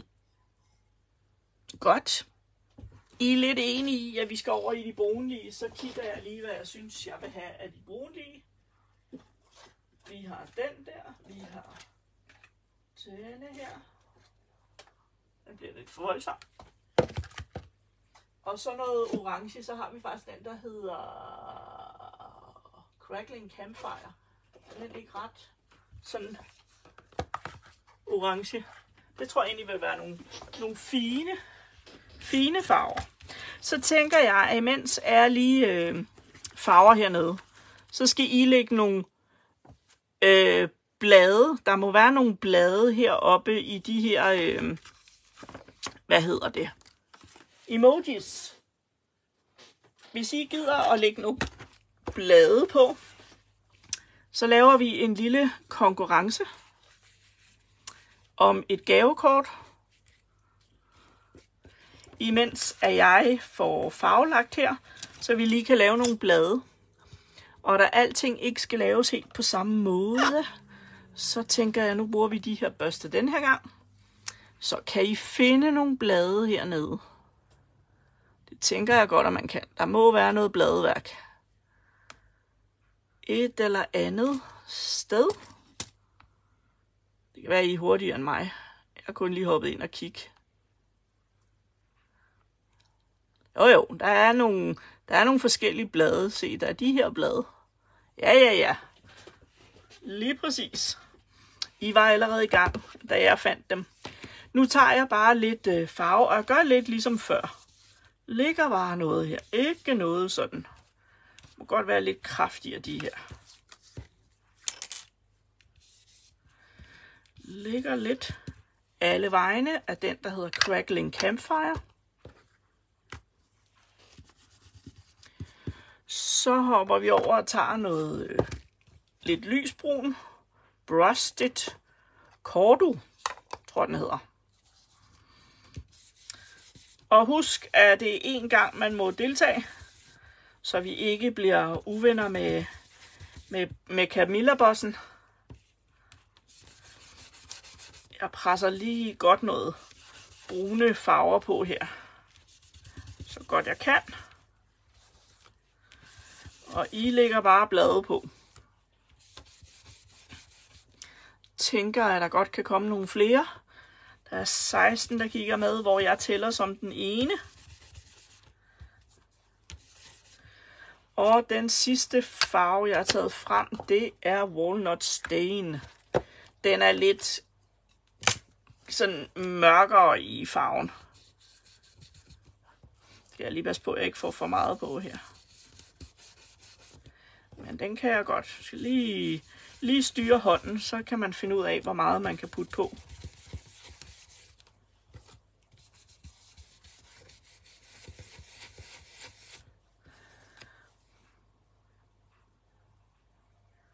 Om jeg selv skal vinde? Øh, jamen det, det må jeg ikke. Det kan jeg ikke. Jeg har spurgt Camilla på et tidspunkt, men jeg må ikke selv vinde. Men det er for, at jeg simpelthen kan se de kommentarer, I skriver, så er jeg faktisk tvunget til at, at være med inde på en kigger. Det er lige før, jeg godt kunne tænke mig at have noget mere bruns, mere bruns. Vi tager lige en vintage foto også. Den har sådan en lækker rødlig øh, glans. Så putter jeg lige lidt af den her på også, fordi ellers så synes jeg måske, de bliver lige... Og den sidste her, den mangler lidt, den mangler lidt, øh, lidt mørkt. Vi hopper lige tilbage til den her. Så skal jeg nok lige om lidt trække en vinder. Og øh, jeg tænker, at i dag, der er gavekortet 125 kroner. Så rykker vi lige dem her. Jeg er lige nødt til at skabe lidt plads på mit bord. Sådan. Gavekort på 125 kroner. Og jeg trækker en vinder om 3, 2, 1. Og værsgo, siger de kloge. Det er den 31. i 8. og 125, og vinderen bliver...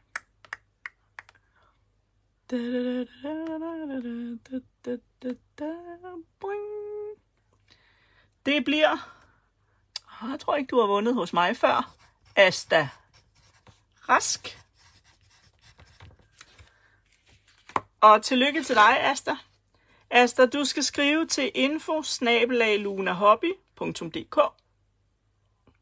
i en mail, så skal du skrive, at du har vundet 125 kroner på et gavekort. Og så skal du fortælle Karsten, om du kommer og handler fysisk i butikken, eller du gerne vil handle online. Jeg skal nok give Karsten besked. Øh, jeg tænker, at han stadigvæk holder lidt øje med det hele, selvom han er på messe. Men ellers så øh, sender jeg i hvert fald beskeden til ham, og jeg tænker, at han kan klare det, uanset øh, hvordan det skal være.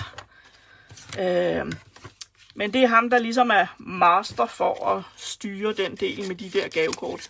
Jeg skal bare fortælle, hvem der har vundet. Nu øh, ligger vi lige lidt øh, blade her. Se, der kan måske allerede laves flere bare på de her små stykker, jeg har. Og det er faktisk også derfor, at jeg, øh, jeg gemmer mange af mine rester, og specielt hvide rester, fordi jeg kan altid lave sådan noget her. Man kan også gøre det med blomster og sommerfugle, og man får nogle gange nogle helt fantastiske farver ud af det. Se, der fik jeg en helt rød klat lige midt i det blad her. Og hvis man ikke synes, at det er så fedt, så tager vi lige noget farve, og så øh, retter vi det til, så det lige bliver lidt mere, som vi gerne vil have det, det her blad. Men igen, lad være med at kigge på det enkelte blad, fordi når vi først sætter det her sammen til noget, så kommer vi mange gange ud i det der af det enkelte blads øh, sjovhed eller skævhed. Det forsvinder faktisk lidt i det store billede, når vi sætter det op ved siden af noget, der ser lidt anderledes ud. Så øh, lad endelig være med at gå i panik, fordi man tænker, der er noget, der er helt skævt. Det er håndlavet, så jo mere tilfældigt nogle af tingene er, jo bedre kan du faktisk øh, få noget, der ser ud. De der helt perfekte øh, kreative ting, de kan også noget. Men har du lavet en lille upser, så får du faktisk mere liv i det, du har lavet. Øhm, bare sådan en lille, en lille, lille kommentarting. Det er svært ikke at være perfekt, hvis man har det i sig. Så nu brokker Lasse sig. Vasketøjet er færdigt. Ikke sådan, at man har været på ferie, så skal der ordnes vasketøj. Så går jeg live, så klarer Søren vasketøj. Det er sådan en god fordeling, vi har her. Hej Camilla. Og har du tid til at kigge med, var? Er I færdige med at pakke? Så fik vi skåret lidt blade også. Så nu har vi simpelthen farvelagt svampe i sjove farver. Så nu begynder vi vores lille monteringsproces. I har pakket det meste super. Det var godt. Så er der lidt, jeg kan shoppe, når vi ses i Osted her i weekenden. Se, nu limer jeg jo bare denne her på. Og jeg putter bare lige lidt lim over det hele. Og da jeg har lavet de her to bundstykker ens, med at lægge lidt farve på dem, så er det jo faktisk lidt lige meget, hvor de kommer til at sidde. Jeg har ikke lavet nogen, der er sådan specifikt til en. Så nu øh, får vi to kort ud af det her. Vi kan lige finde ud af, hvad vi ellers skal have mere på baggrunden, men nu samler jeg lige de her dele. Oh yes, det var godt. Dejligt, dejligt. Tag kvistkarton med. jeg tænker, at hvis der er noget, så er det sikkert pakket og gjort klar.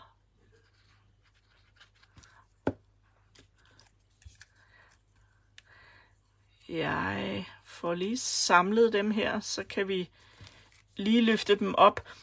Der er så nogen, der siger, Susanne, eller der tænker her, Susanne, skal du ikke lige give det lidt øh, svært ud i kanten? Jo, det tænker jeg egentlig måske lidt, jeg skal, men jeg vil ikke gøre det, før jeg har sat de her dele sammen. Fordi så kan jeg skjule lidt eventuelle kanter, jeg får lavet. Hvordan man vil lave de her øh, øh, fødder, eller hvad det hedder, på svampene, det er jo op til en selv. Jeg tror, jeg har smidt en dims væk et eller andet sted. Men øh, jeg putter en lille klat lim herop. Og så tager jeg den her krans og sætter den kun på den lille stilk. Sådan. Og så skulle der være en mere, men den er blevet væk her i, øh, i Suses bordting. Jeg synes i hvert fald, at vi har farvet to, men det kan godt være, at jeg husker forkert. Så nu vil jeg så tage øh, en sværte og lige give det en gang rundt i kanten. Og man kan jo bruge de farver, vi har brugt, eller så kan man bruge noget helt andet. Og jeg tænker egentlig, at jeg skal lige se, om jeg kan finde det, jeg vil finde. Det har jeg lagt væk. Så vi går lige over og henter noget her. Øh, dem. Det gør vi ikke lige graver i min bunker, fordi den må være her et eller andet sted. Nå, så tager vi noget andet. Jeg tager en Pumi Stone, og ved I hvad, nu glemte jeg jo at farvelægge med Oxide. Det er jeg lidt ked af, men jeg tager en Pumi Stone, og den ved I jo godt, jeg bruger tit. Min Pum, Pumi Stone. Og så kan man jo bruge øh, igen det værktøj, man nu synes. Nu bruger jeg bare sådan en børste her, for den havde jeg lige ved hånden. Og så lægger jeg simpelthen en Pumi her rundt i kanten. med let hånd. Sådan. Og prøv at se, hvordan den blev farvemæssigt. Og nu skinner det ikke helt hvidt baggrunden, fordi vi simpelthen lige gav det en, en lille smule øh, antik linen, tror jeg det var, vi gav den. Det kan jeg faktisk ikke huske. Jeg har allerede glemt, hvad det er for nogle farver, jeg har taget. Men simpelthen de her skærme får lige en lille smule, er det lækker farver. Og jeg glemte at vise den blå, den skal I nok også få lov til at se lidt tæt på. Nu kan jeg nemlig udligne lidt, hvis jeg har fået limet det lidt skævt på. Så bliver det ikke lige så tydeligt. Jeg får ikke nogen øh, lyse kanter. Se, her kan vi se de blå skærme. Det får mig til at tænke på øh, smølferne. Den der blå nuance. Stænglerne tænker jeg ikke, at jeg vil sværte, fordi dem har vi jo farvelagt, så de egentlig, øh, så de egentlig har den her lidt støvede nuance i sig selv. Nu kan jeg ups, fjerne den her, så kan det være, der dukkede noget op. Det gjorde der ikke. Så havde vi jo lavet de her kort, og dem kunne vi jo i princippet lige så godt bruge. Nu playing cut karton er jo ikke super kraftigt. Det siger jeg bare. Så øh, for at gøre det mere kraftigt, så kan man jo skære noget mere af dem her i samme størrelse eller i mindre størrelse. Jeg hopper lige et nummer ned, tænker jeg. Og så kan man lægge flere lag på. I det vi lægger flere lag på, så øh, kan vi få lavet det kraftigere og kraftigere og kraftigere. Så der er ting, der kan være ret gode ved det. Øhm, jeg havde lige et andet stykke karton. Det finder vi lige. Det lader jeg her. Nu skal jeg lige et par stykker i hvid her. Og det er nummeret mindre, end det vi havde før. Så. Simpelthen en, en wonky edge, tror jeg det var den hed. Jeg skal lige lære Camillas øh, nye navne her. Og en tur den anden vej. Ups. Sådan. Så fik jeg lige lavet to. Lige nu koncentrerer vi os kun om forsiden, så kan jeg altid lave noget ekstra på bagsiden og indersiden. Det er mere sådan, at tiden ikke løber fra os i forhold til, at der er jo nogen, der stadigvæk skal på arbejde.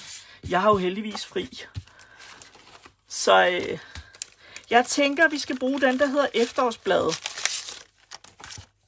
Og jeg skal bruge mit stempelværktøj. Og jeg tager sådan en her af dem her, jeg lige har lavet. Lægger herned. Så tager vi det her fine store stempel. Og så lægger vi det her.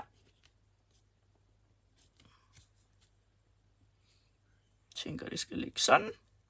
Nu er det lidt svært for mig at, at holde fast med magneter. Hvis man ikke kan det, så må man have gang i det, der hedder Sticky Grid. Det kan hjælpe jer til at holde fast på det her. Øh, jeg tror faktisk, jeg har en lille rest her. Skal vi prøve at se, om, jeg, om den klister nok. Her har jeg et lille stykke Sticky Grid. Det kunne vi jo faktisk lige øh, prøve at lægge her ind under. Og så tager vi lige den her af, og så lægger vi den her ovenpå. Så er den med til at holde lidt på, at alle de her ting, de ikke stikker af. Så skal jeg lige have fjernet alle de her ekstra magneter, for ellers så kan jeg ikke få hentet mit stempel op. Så kan man jo gøre præcis, hvad man synes, man vil.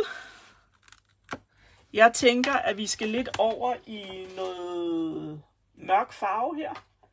Så jeg hopper lige over og tager en endnu mere brun. Vi tager den, der hedder Ground Espresso. Og den putter vi lige rundt på stemplet her. Let og elegant. Trykker lige lidt med min håndflade. Sådan. Og den skal nok lige have et par gange her. Man kan også med fordel embosse det, men nu tager vi lige den lidt nemme løsning her. Se om vi kan få det stemplet. Hov, hov, jeg fik lige lagt nogle tråde. Det skal man lige være opmærksom på, på det her Distress Ink.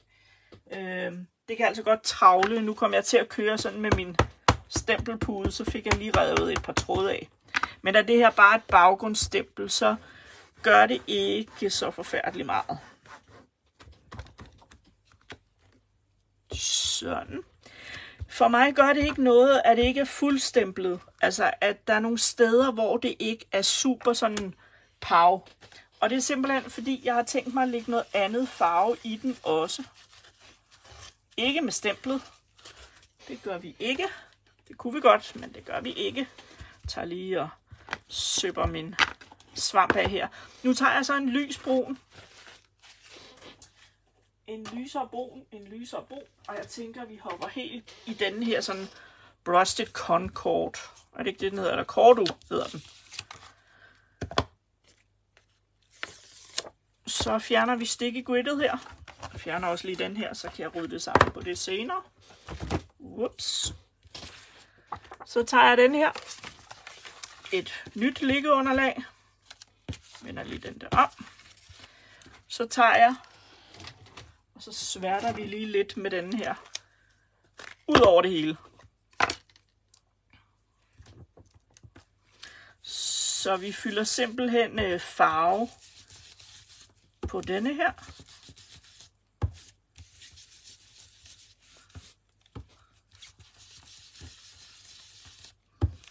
Og der er jo rigtig mange øh, måder, man kan bruge de her stempelbaggrunde på.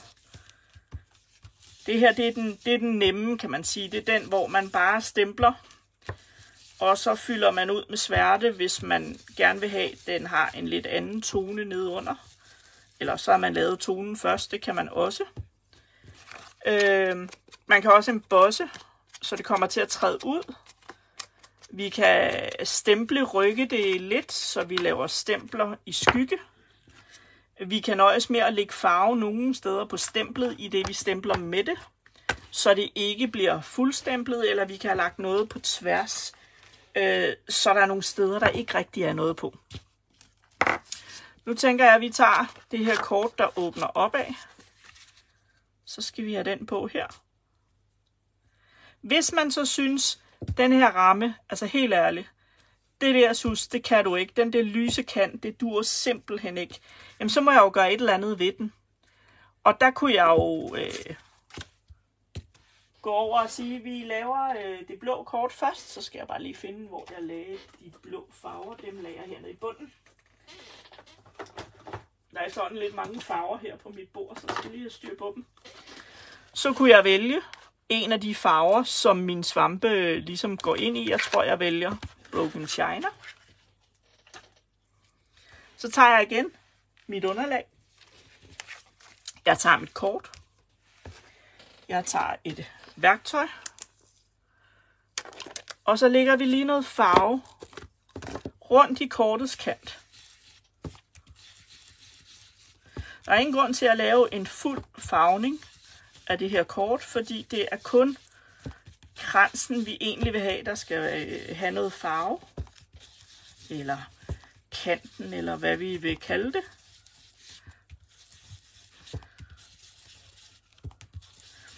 Og når vi så tænker, at vi har farvelagt det, som vi gerne vil, så tager vi lige vores base og lægger på, og så får vi lige en idé om, om det ser ud, som man gerne vil have det. Og man kan jo gøre det tilsvarende indvendigt. Det er stadigvæk hvidt og fint. Det er bagsiden også, medmindre jeg har fået kørt det for meget i farven. Men jeg kommer til at lægge noget ekstra karton på, for at gøre den her play cut lidt kraftigere. Pilen peger opad, så nu tjekker jeg lige, at min fine ramme her, den er, som jeg gerne vil have den. Det synes jeg faktisk, den er. Så den sætter vi lige på.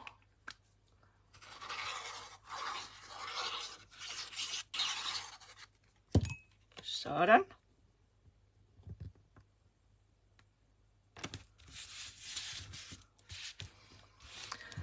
Og så er det jo, at man nu skal til at øh, finde ud af, hvordan vil man gerne have, at opsættet her skal være. Hvad er det, der skal fremtræde på det her kort? Vi blev enige om, at det her det skulle være de blå. Så på en eller anden måde skal jeg have samlet mine svampe. Jeg lægger bare en lille klat lim her. Og se, nu var jeg faktisk for hurtig, så nu tager jeg det lige af igen. Hvis jeg gerne vil have, at den skal være blank, så vil jeg nu putte glossy accent på. Men jeg kan faktisk også vælge at putte clear embossing. Og øh, jeg skal lige kigge over på mit ur. Øh, der vil man simpelthen putte den clear sværte, som det jo altid øh, er. Og så vil man tage noget clear embossing pulver. Og så vil man øh, tørre det. Jeg skal lige have dem rettet lidt ud. De bukker en lille smule lige her. Men simpelthen få dem godt herned. Få trykket godt med clear på. Og så skal vi ned i pulveret. Det er selvfølgelig åbnet i forvejen. Og så putter vi simpelthen bare det her pulver ud over det hele. Kan den lige få lov til at ligge der. Så gør vi lige det samme på den anden. Trykker den simpelthen bare ned i.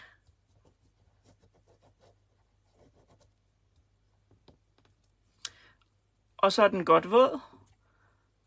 Og så på med pulveret her. Så skal jeg lige have fundet noget værktøj, så jeg kan få den op, så jeg kan tørre den. Og der må jeg lige bruge noget ikke så godt. Nej, jeg har den nok lige her. Det er jo det der med, når man halvt har pakket. Og min undskyldning er, at jeg bare ikke har pakket ud fra min ferie. Så starter vi lige lidt larmeri her, og så tørrer vi lige det her. Jeg skal lige have fat i den. Upti, upti. Så. Vi lige have den til at smelte. Sådan. Det tager lidt længere tid, fordi jeg nu har to lag karton. Og fordi jeg stadigvæk gør det nedefra. Det er simpelthen for at forhindre pulveret i at stikke af.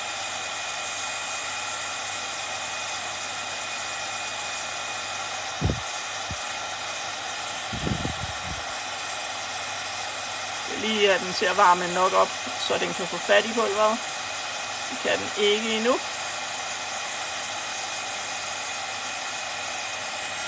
Ja. Og nu sker der lidt.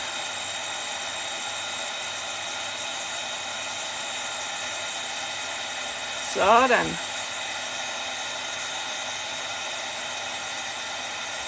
Nå, du skal til før skrab, det sker ikke. Jeg kommer først lørdag har lige nogle ting, der skal nås her efter, at man har været på ferie. Efter arbejdet. Dejligt. Vi snyder lige og tager det op fra, eller det er ikke snyd, men nu er det begyndt at varme lidt op, så går det bare lidt hurtigere heroppe fra, og jeg nu har dobbelt karton.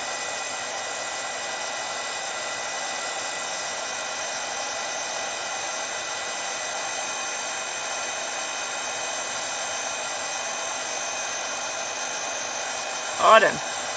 Når man gør det første gang her, så vil man opleve, at overfladen godt kan være lidt ru. Så øh, man behøver ikke at putte mere øh, lim på, medmindre man har været meget lang tid om den her proces. Men typisk så kan man altså godt lægge noget øh, pulver på. Nu kan I se her, det slipper herover. Og nu varmer jeg lige så stille oppefra igen. Så kan man simpelthen lægge et lag mere på. Jeg skal bare passe på, at jeg ikke blæser det af. Jeg kunne godt gøre det nedefra, men igen, fordi min karton er dobbelt, så øh, går det lidt hurtigere, når jeg gør det heroppefra. Og det kunne også være, at jeg skulle få gang i den her, så den kører lidt hurtigere.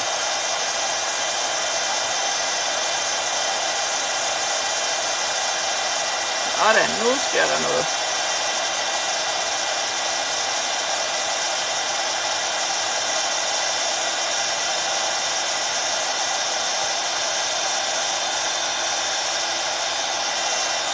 Imens den er våd, så kan jeg køre ned og hente noget mere.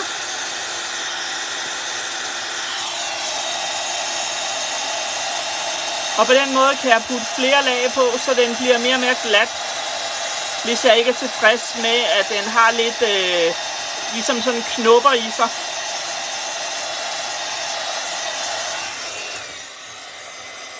Men det må der gerne være for min skyld. Så ligger vi den lige der og tager den anden. Sådan.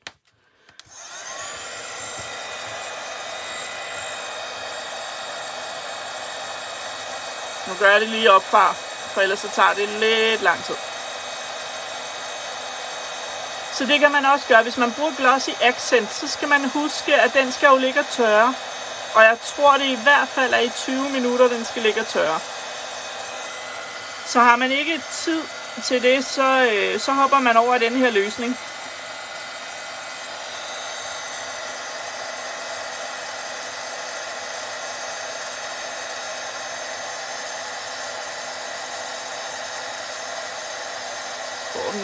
et ekstra lag her, så jeg kan få varmet op ned i den ende, hvor der ikke er noget ekstra pulver på.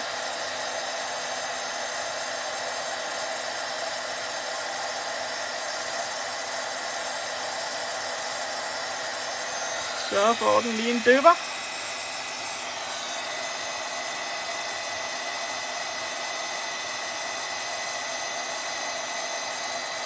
Og jeg kan faktisk godt lide, at det ikke altid er helt glat. Specielt når man laver sådan noget svampe og blade og sådan noget, så er det faktisk lidt frægt, at det ikke er helt glat. Sådan.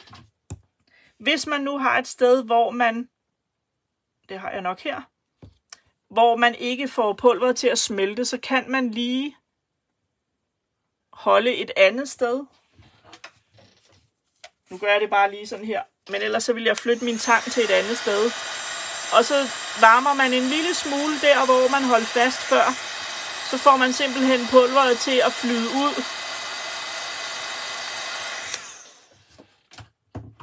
Så det ikke er lige så tydeligt, hvor man har holdt fast. Nu skal de lige have lov til at dampe af et øjeblik. Øh, imens så kan jeg lige lukke det her. Fordi det tænker jeg ikke, vi gør på den næste. Vi behøver ikke at gøre det på den samme måde. Og denne her skal jeg lige have tørret det ekstra pulver af. Sådan.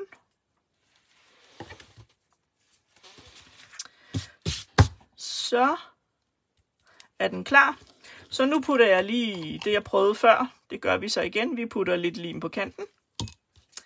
Og så sætter vi den måde, vi nu synes, vores svampe skærm skal sidde på. Jeg tænker, skal sådan. Og nu regner det her hos mig. Så regner det stadigvæk i bordet med det.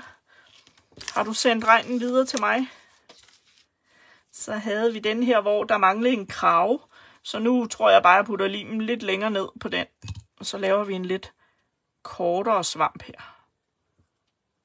Tipper skærmen lidt den anden vej. Sådan. Ej, hvor de er altså lækre, de her to blå. Se, det er, det, er ikke, det er altså ikke så dårligt at hoppe ud i, i andre farver, siger jeg bare. Ja, jeg ved ikke, hvad det er for noget med det, at øh, jeg fik regnen, at du sendte den videre til mig. Jeg tror bare, at de her svampe skal sættes øh, på, så vi putter noget lim. Og vi sætter en der. Og så tænker jeg lidt, jeg skal prøve at se, om man kan få flettet dem lidt, som de gjorde før, helt af sig selv. Så vi skal have denne her sådan lidt herned. Sådan. Så den lille står bag den store stilk, men skærmen er foran den store skærm. Så de er simpelthen blevet flettet ind i hinanden. Og se, nu glemte jeg jo lidt det her med bladene, ikke?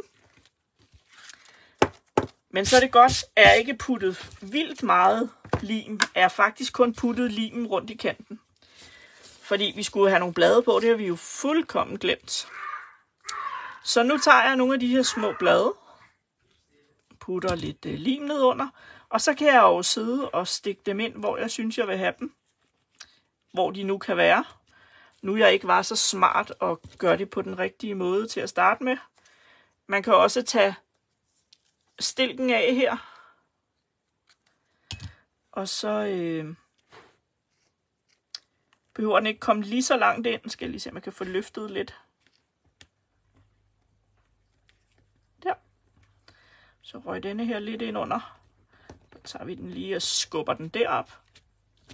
Så har vi den store. Så tager vi også lige endestykket af her. Lige på kanten. Løfter lidt her stopper den lidt herind. Fordi mit kort er en lille smule mindre end et almindeligt kort, så gør det nok ikke så meget, det strider lidt ud i kanten.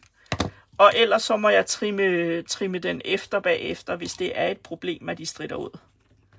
Nu sætter vi bare sådan lidt blade her, prøver at redde lidt af, at vi var en klovn, og ikke fik sat bladene på først.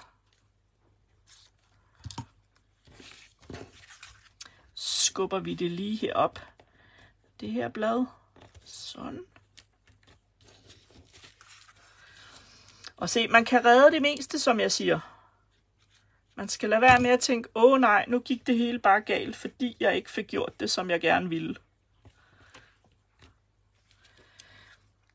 Der er rigtig mange måder at løse det på. Nu tager jeg det her blad, og så sætter vi det modsat, tror jeg. Fordi jeg vil godt have det ned og dække lidt det her hul, der er inde i midten. Så det skal vi lige se, om vi kan. Om vi kan få stoppet det lidt ned under stilken der. Ikke nok. Det kunne jeg ikke. Skal vi have et blad, der strider her?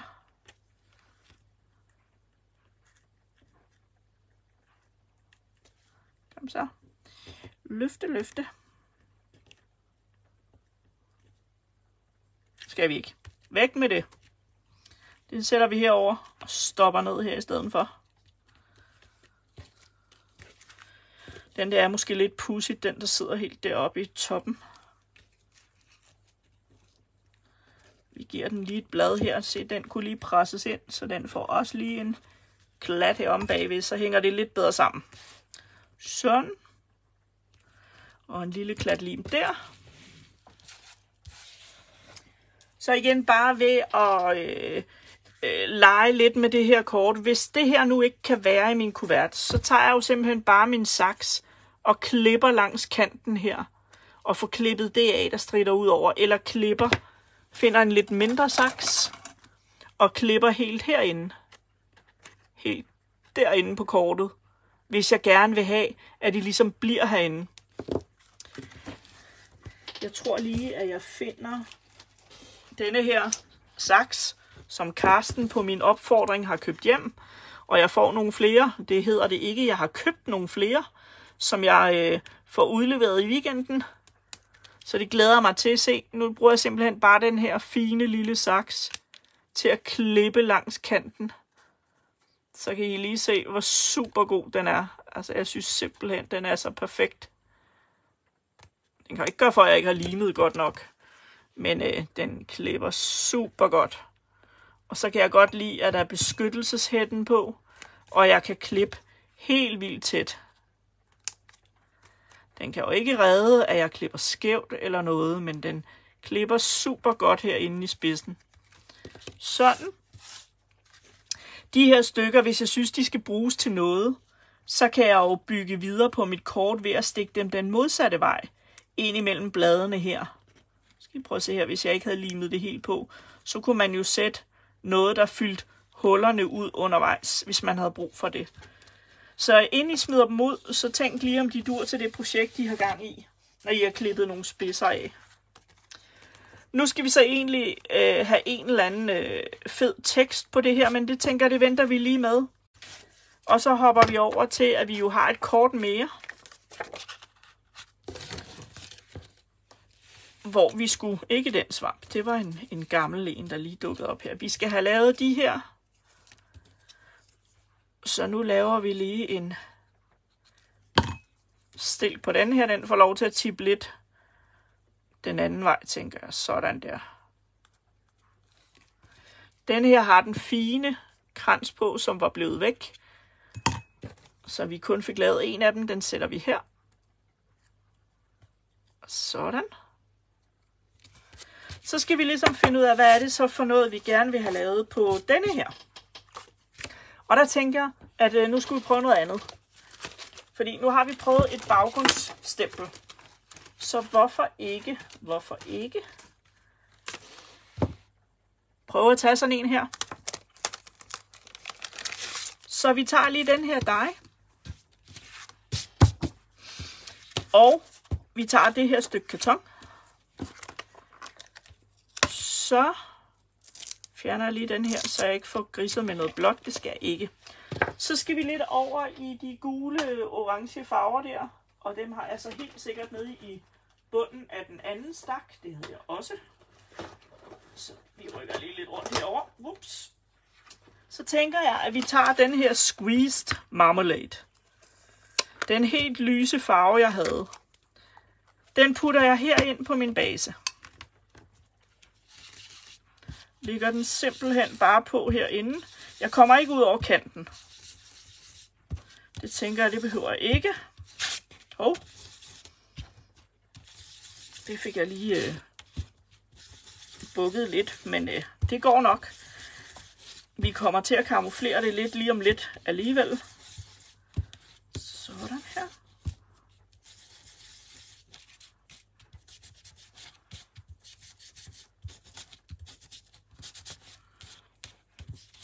Det tænker jeg egentlig er fint nok. Det var den lyse af farverne, vi brugte før. Så tænker jeg, at jeg tager den gule. Det er den næste, vi skal bruge. Men vi skal lige have skåret øh, noget ud af den her. Så jeg finder lige et stykke restekarton og håber, det passer. Det kan det. Så den skærer vi lige en tur over i maskinen.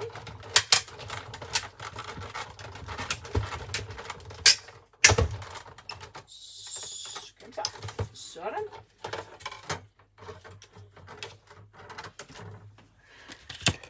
Og der skal I lige være opmærksom på, hvis de her falder ud, så øh, er det altså ikke alle, der passer alle steder. Der er en lille smule difference. Så lav lige en tester, inden at I, øh, hvis I skal bruge dem alle sammen, så sørg for, at de bliver det rigtige sted. Øh, hvis I kun skal bruge nogen, så lav lige en tester, hvilket der passer til hvilket hul. Og, og det er det altså ikke, fordi min dice er dårlig. Det er simpelthen, fordi min skæreplade er ved at være dårlig. Der er, ikke, øh, der er alt for mange riller i til, at den får trykket, som den skal. Jeg har lavet flere af dem, der er super fine. Så bare lige, så I ikke tror, det er den, den er gal med. Så tager vi lige den her. Og så tager jeg lige min baggrundsting igen. Og så tager vi lige og øh, får sværtet den her.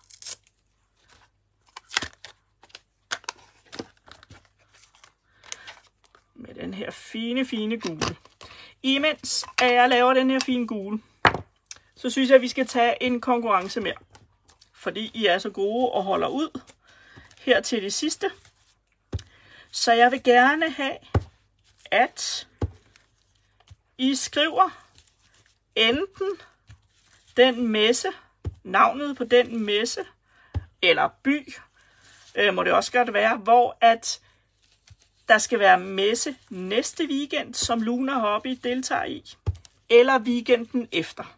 Jeg har nævnt to, og måske har man læst det i nogle opslag, hvad det er, der skal ske næste weekend, eller også har man styr på, hvad der sker næste weekend igen. Så, I skal skrive enten navn på messen, eller den by, messerne bliver afholdt i. Øh, og det kan I gøre fra... Øh, oh, det var ikke det, jeg ville. Det kan I gøre fra nu af. Sådan. Så kan jeg se, hvornår det starter nemlig. Det gør I bare. Jeg har lige givet den her noget sværte. Og nu vil jeg montere de her dele sammen. Og så tænker I, det kan du da ikke, sus, fordi så kan man ikke ligesom se øh, striberne og sådan noget på bagsiden. Jo jo, det kan vi sagtens. Så jeg limer simpelthen den her på, primært herinde i midterstykkerne. Og I skriver bare, hvilken, ups, sådan, hvilke byer, ja, ja, ja, ja, ja. Og I behøver ikke skrive begge to, bare den ene. Hvis man ikke har styr på begge to, så er det bare den ene, vi skriver. Jeg tænker lige, vi skal være lidt Camilla, hun laver jo wonky-wonky ting, så jeg tænker lige, vi skal se, om vi kan wonky den her lidt. Det kan vi godt. Sådan.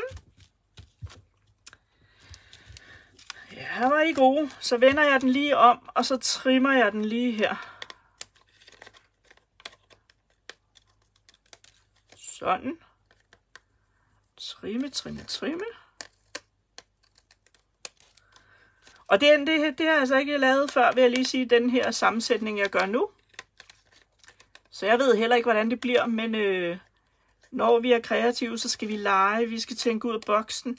Vi skal ikke altid gøre det, der er helt åbenlyst. Prøv lige at se her. Blev det ikke bare en lækker baggrund, siger jeg. Og det ville man nok slet ikke kunne have tænkt sig til, da man startede, at den ville komme til at se sådan ud. Og I skriver bare jeres bud.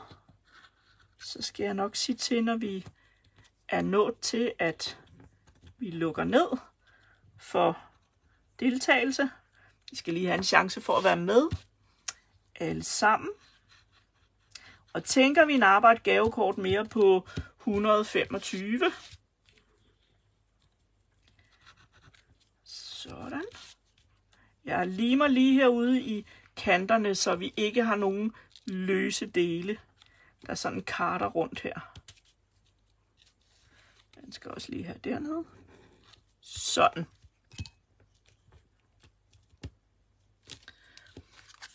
Det er der blevet en fed baggrund. Vi skal lige gøre noget mere, og det nævnte jeg jo faktisk i noget andet.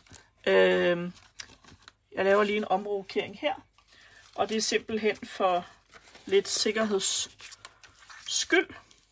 Sådan, og jeg skal lige have en plade.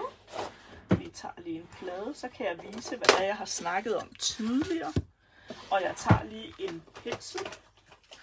Og så tænker jeg, at vi er ved at nå dertil, at øh, der er nogen, der bliver vinder, eller en, der bliver vinder. Jeg tager den her carved pumpkin, og når jeg er færdig med det, jeg gør lige om lidt, så trækker jeg en vinder. Så har du ikke nået at komme med dit bud, så kommer du med det nu. Jeg lægger lidt farve. Jeg tager min vandflaske og putter rimelig meget vand herned nu. Så tager jeg min pensel. sørger for, at den bliver kørt godt rundt i det her vand. Nu skal man så sikre sig, at man ikke har noget i nærheden, man ikke vil have griset på. Øh, eller så skal man gøre det et andet sted, men nu gør jeg det lige, så I kan se det, og så håber jeg ikke, at jeg rammer noget, jeg ikke vil. Men en god ting, når man gør det her, det er faktisk at have en pensel. Man kan også bruge de her lidt brede pensler til det. Skal jeg lige finde sådan en. Man kan også bruge sådan en her. Øh, men jeg bruger bare typisk det, jeg har ved hånden. Så tager man noget andet, der er lidt hårdt. Det er det nemmeste. Sørg for, at den her den er godt våd. Det er derfor, jeg sørger for, at den er herover hele tiden. Så tager vi den herover, og så slår jeg simpelthen sådan her. Så kaster jeg nogle vanddråber ned på det her, hvor jeg nu vil have dem. Jeg kan altid hente lidt mere, hvis jeg ikke synes, den gør det godt nok. Så har vi skabt lidt liv hernede. Den her skal jeg selvfølgelig gøre rent, ligesom man altid vil gøre en pensel ren. Det her skal vi have søbet væk, så vi ikke får blandet det ind i det, vi ellers laver. Så skal man lige give det her en chance for at tørre en lille smule. Men jeg kunne godt tænke mig at give det lidt mere kreds. Og I, I ved jo godt, at jeg har de her, som er Spectrum, Spectrum Noir Sparkle. Det kunne I godt nå at se. Det er rykket lige hos mig. Nu tager jeg simpelthen den her og åbner den. Sådan. Den er lidt ligesom en vandpensel, og nu fik jeg det ud over det hele. Og den skal, skal gøre lidt det samme som vandpenslen faktisk. Jeg skal sørge for, at jeg lige er sikker på, at den er godt våd, så jeg trykker lige på den, ligesom man kan på en vandpensel, så har den en pres. Og så kan jeg lige så stille se, når fugten kommer ned i min pensel. Den har stået den anden vej. Så sådan, nu kom det. Nu har jeg glimmer i den her, så jeg kan gøre på samme måde, som jeg gjorde før. Så nu gør jeg sådan her. Og hvis den ikke er helt våd, så kan man lige køre lidt herned og tage det hernede. Og så gør man det samme. Vi klasker lige på denne her. Jeg tror lige, jeg tager lidt mere ud. Sådan.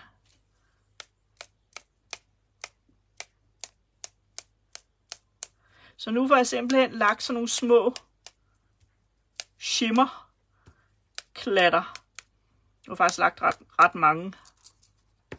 Så skal man lige huske at rengøre det, man har siddet med her, fordi ellers så har man shimmer shimmer alle vegne.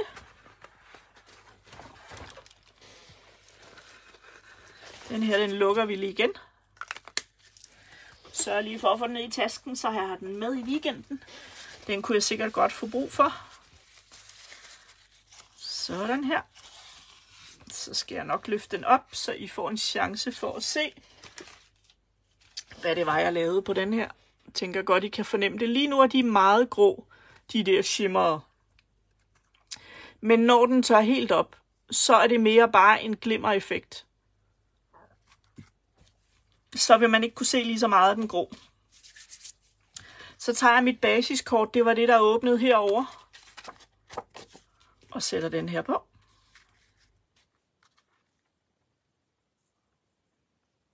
Ja, jeg tror faktisk lige, at jeg vil gøre en ting mere. Vi hopper lige tilbage til denne her. Og så giver vi den lige sådan en farvning her i kanten. Ja, det bliver så fint, når man giver de der små ting. Og det her, det er jo ikke... Lige når vi kigger på den, så er det jo ikke noget, jeg vil sige, det er pænt. Jeg har ikke siddet og lavet rette linjer og bestemt, at det skal være på en bestemt måde. Jeg har simpelthen bare været kreativ og rent ud sagt kaste det på. Vi sætter lige den her på, så skal jeg nok finde en vinder. Få sat den på. Den skal vende den her vej, tænker jeg. Og så kan vi sætte svampene på. Dem her skal jeg ikke bruge. Man kan gemme dem og sætte dem på et andet kort. Man kan også smide dem ud. Nu skal jeg jo så huske, at jeg skal have det her på også.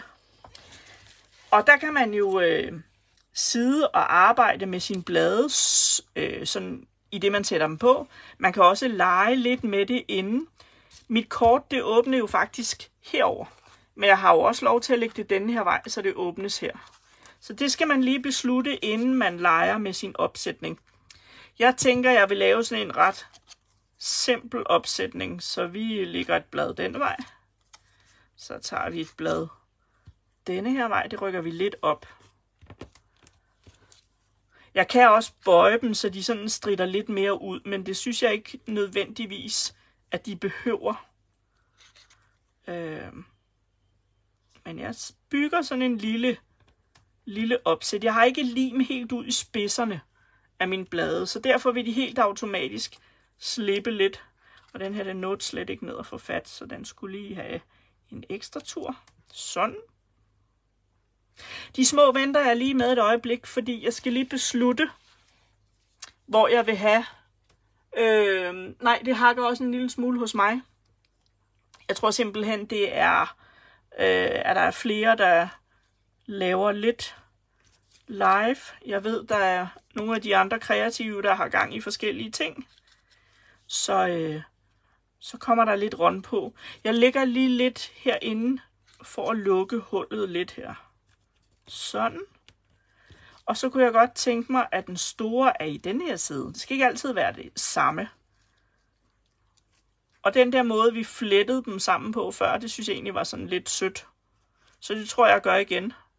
Den her skal bagom. Så har jeg samlet dem, og så kan jeg putte noget lim på. Jeg putter ikke lim helt ud til siden, og det er simpelthen, hvis jeg godt vil have stukket noget ind under så, øh, så får jeg muligheden for det. Se, nu sætter jeg dem lige der. Og jeg tror nemlig lige, jeg vil... Nej, jeg tror ikke, det er dit wifi. Jeg tror, det er wifi generelt, fordi jeg synes også, den hopper lidt på min en gang imellem. Lige nu er den rigtig fin, men for to sekunder siden, der havde den lidt hoppe-hoppe her. Og så tager vi lige det her blad og stikker denne her vej. Så fik vi brugt dem alle sammen. Og jeg holder lige et øjeblik på den her. Så jeg lige får trykket det hele sammen. Nu har den her jo ikke fået noget på, så det der, det skinner lidt mere. Hvis man så gerne vil, vil gøre noget, jamen så kan man jo altid tage de her øh, forskellige gel rolls, og så på den måde lægge et eller andet et eller andet sted, hvor man nu synes, at det giver mening. Og jeg skulle huske, at jeg skulle trække en vinder, nu er jeg ved at glemme det igen. Det den her ikke super god. Vi kan lige prøve at lægge et par streger her, så I måske kan se det, når jeg løfter det. Den vil ikke helt... Ellers masser af farve i, men de kan godt finde på at tørre lidt de her sådan. Det bliver sådan. Jeg skal lige finde den der vinder, ikke? Fordi ellers så glemmer jeg det bare. Så. Jeg kigger. tilbage og ser, om I er kommet med nogle gode bud.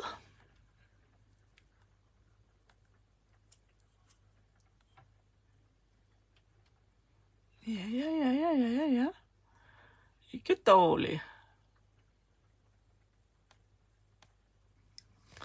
Ups. Dagens vinder, 125 kroner, bliver Hanne Jul Olsen.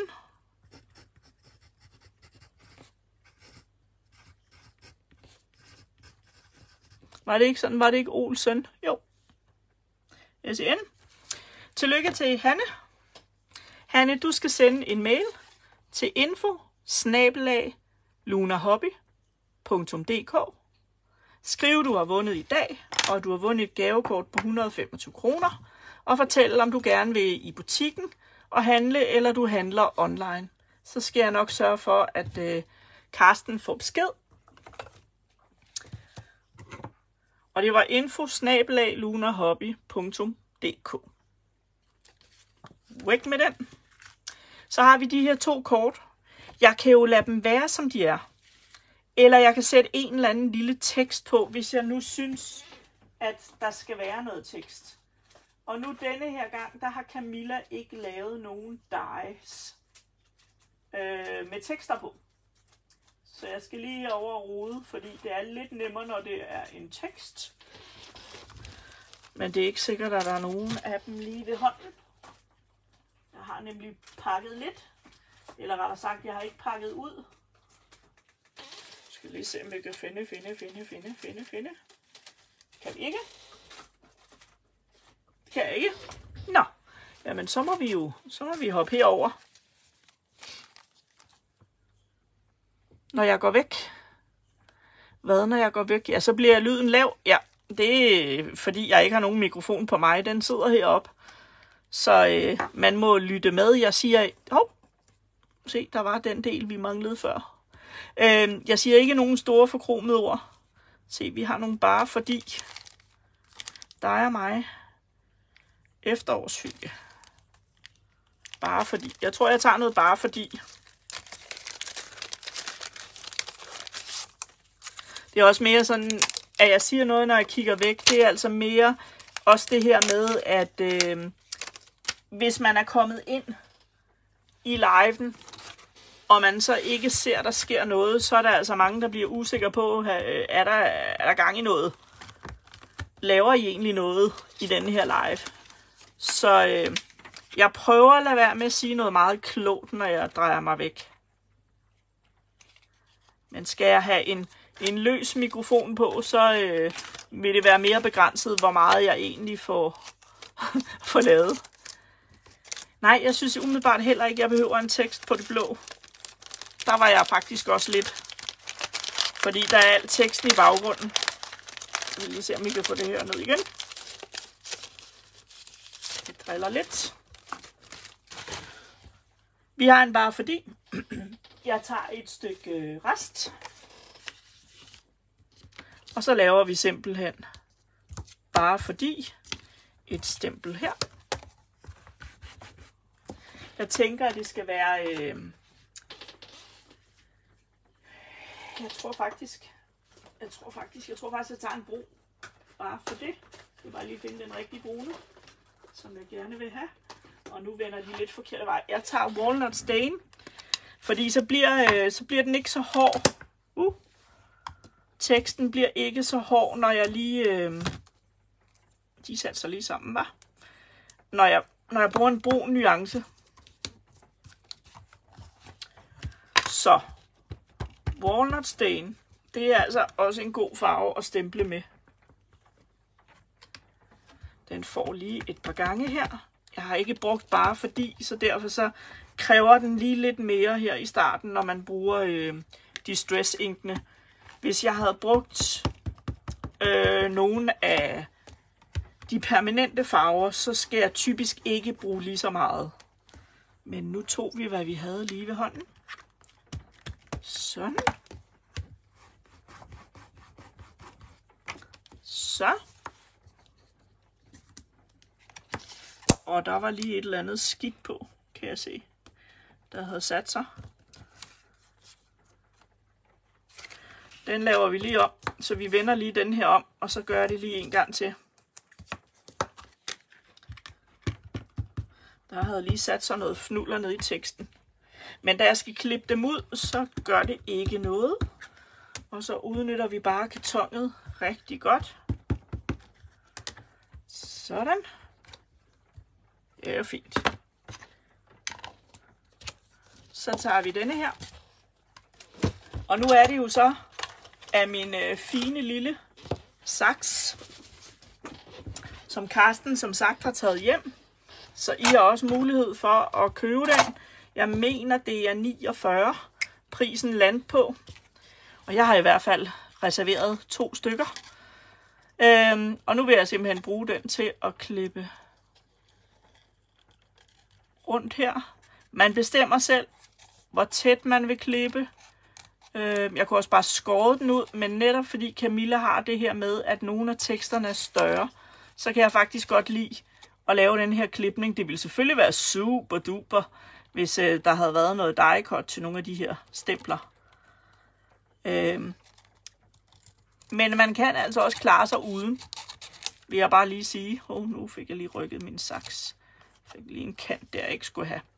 Så man kan jo klippe selv. Ja, det er, altså, jeg synes, det er en super saks. Det bliver jeg nødt til at sige. Og nogle super tekster. Det må jeg også gerne sige.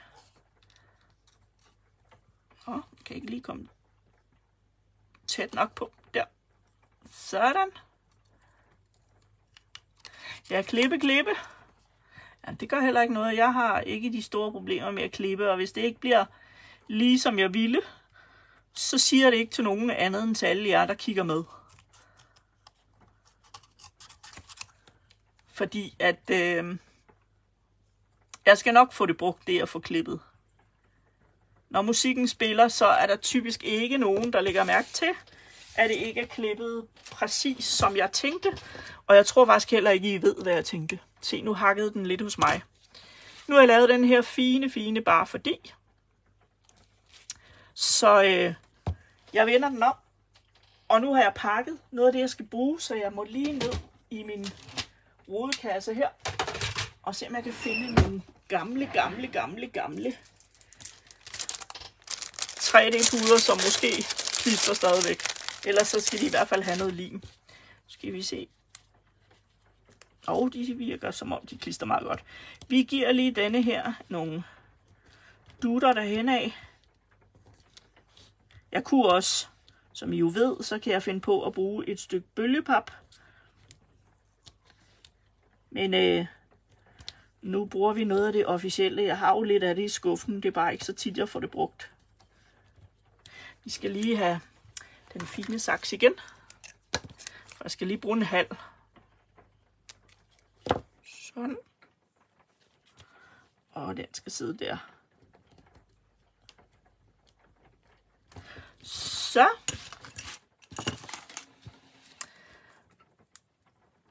Så piller vi lige pynten af her. Og så kan vi kan jo altid give det her et ekstra twist og sætte en lille sløjfe på. Eller nogle, nogle, øh, oh, nogle øh, emaljen dots, eller halvperler, eller rensten, eller hvad I nu har, I synes, I vil putte på. Ah. Den piller jeg måske helt af igen. Så. Jeg kan så godt finde på at tage min lim lige og gøre sådan her. Så synes jeg bare nogle gange, at det sidder bedre. Men det er bare mig og de her puder. Sådan. Tutlut. Så graver vi lige ned til tingene her. Sådan. Så nu blev det til sådan nogle fine, fine, fine kort her. Vi tager lige noget af mit skidt væk her fra mit underlag. Og så kan vi lige kigge på hver enkelt her. Op i det gode lys. Det der blev fint. Det er lige før det ligner mos i baggrunden. Og øh, de er stadigvæk lidt grå. Jeg mener altså, de plejer at blive lidt lysere, men ellers så er det fint nok, at de har det der øh, grålige skær, og der er lidt glimmer i baggrunden, der gør, at, at baggrunden bare kan lidt mere. Og kortet lavede vi, så det åbnet her. Jeg putter noget, noget karton her ind, og så et skrivefelt for at lave den lidt kraftigere øh, indvendig også, fordi jeg nu brugt play and cut. Så er der den blå her. Det var den, hvor vi embossede på selve skærmene, så de er pænt blanke. Og bladene i baggrunden, stemplet, der sådan er lidt øh, rustikt stemplet, men det synes jeg ikke gør noget. Og det var det her kort, hvor at det hænger sammen i toppen. Sådan der. Og så var der min kort, som jeg har præsenteret i dag. Dem kan vi lige øh, lægge med herned, for det er jo også en del af udgivelsen. Så jeg håber, at øh, det har været fint, og jeg håber selvfølgelig, at jeg ser nogle af jer ude i Osted. Åh, oh, den kan man ikke rigtig se. Skal vi lægge den herover? Sådan.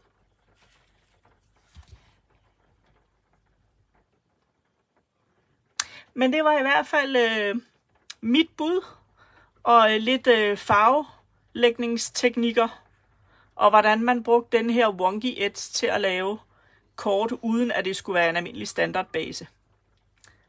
Så øh, tak for i aften. Dejligt, Mona. Hyggeligt, at der er nogen, der kommer og hilser på. Nu øh, tænker jeg, at øh, vi fjerner lige den her, som skiller sig lidt ud i forhold til de andre her. Tror jeg. Fordi jeg skal lige have lavet sådan et, øh, et skærmprint, når jeg lægger det op på nettet. Det er altid godt, at man lige sådan kan se, hvad det er, liven omhandler. Jeg skal nok lægge den på YouTube.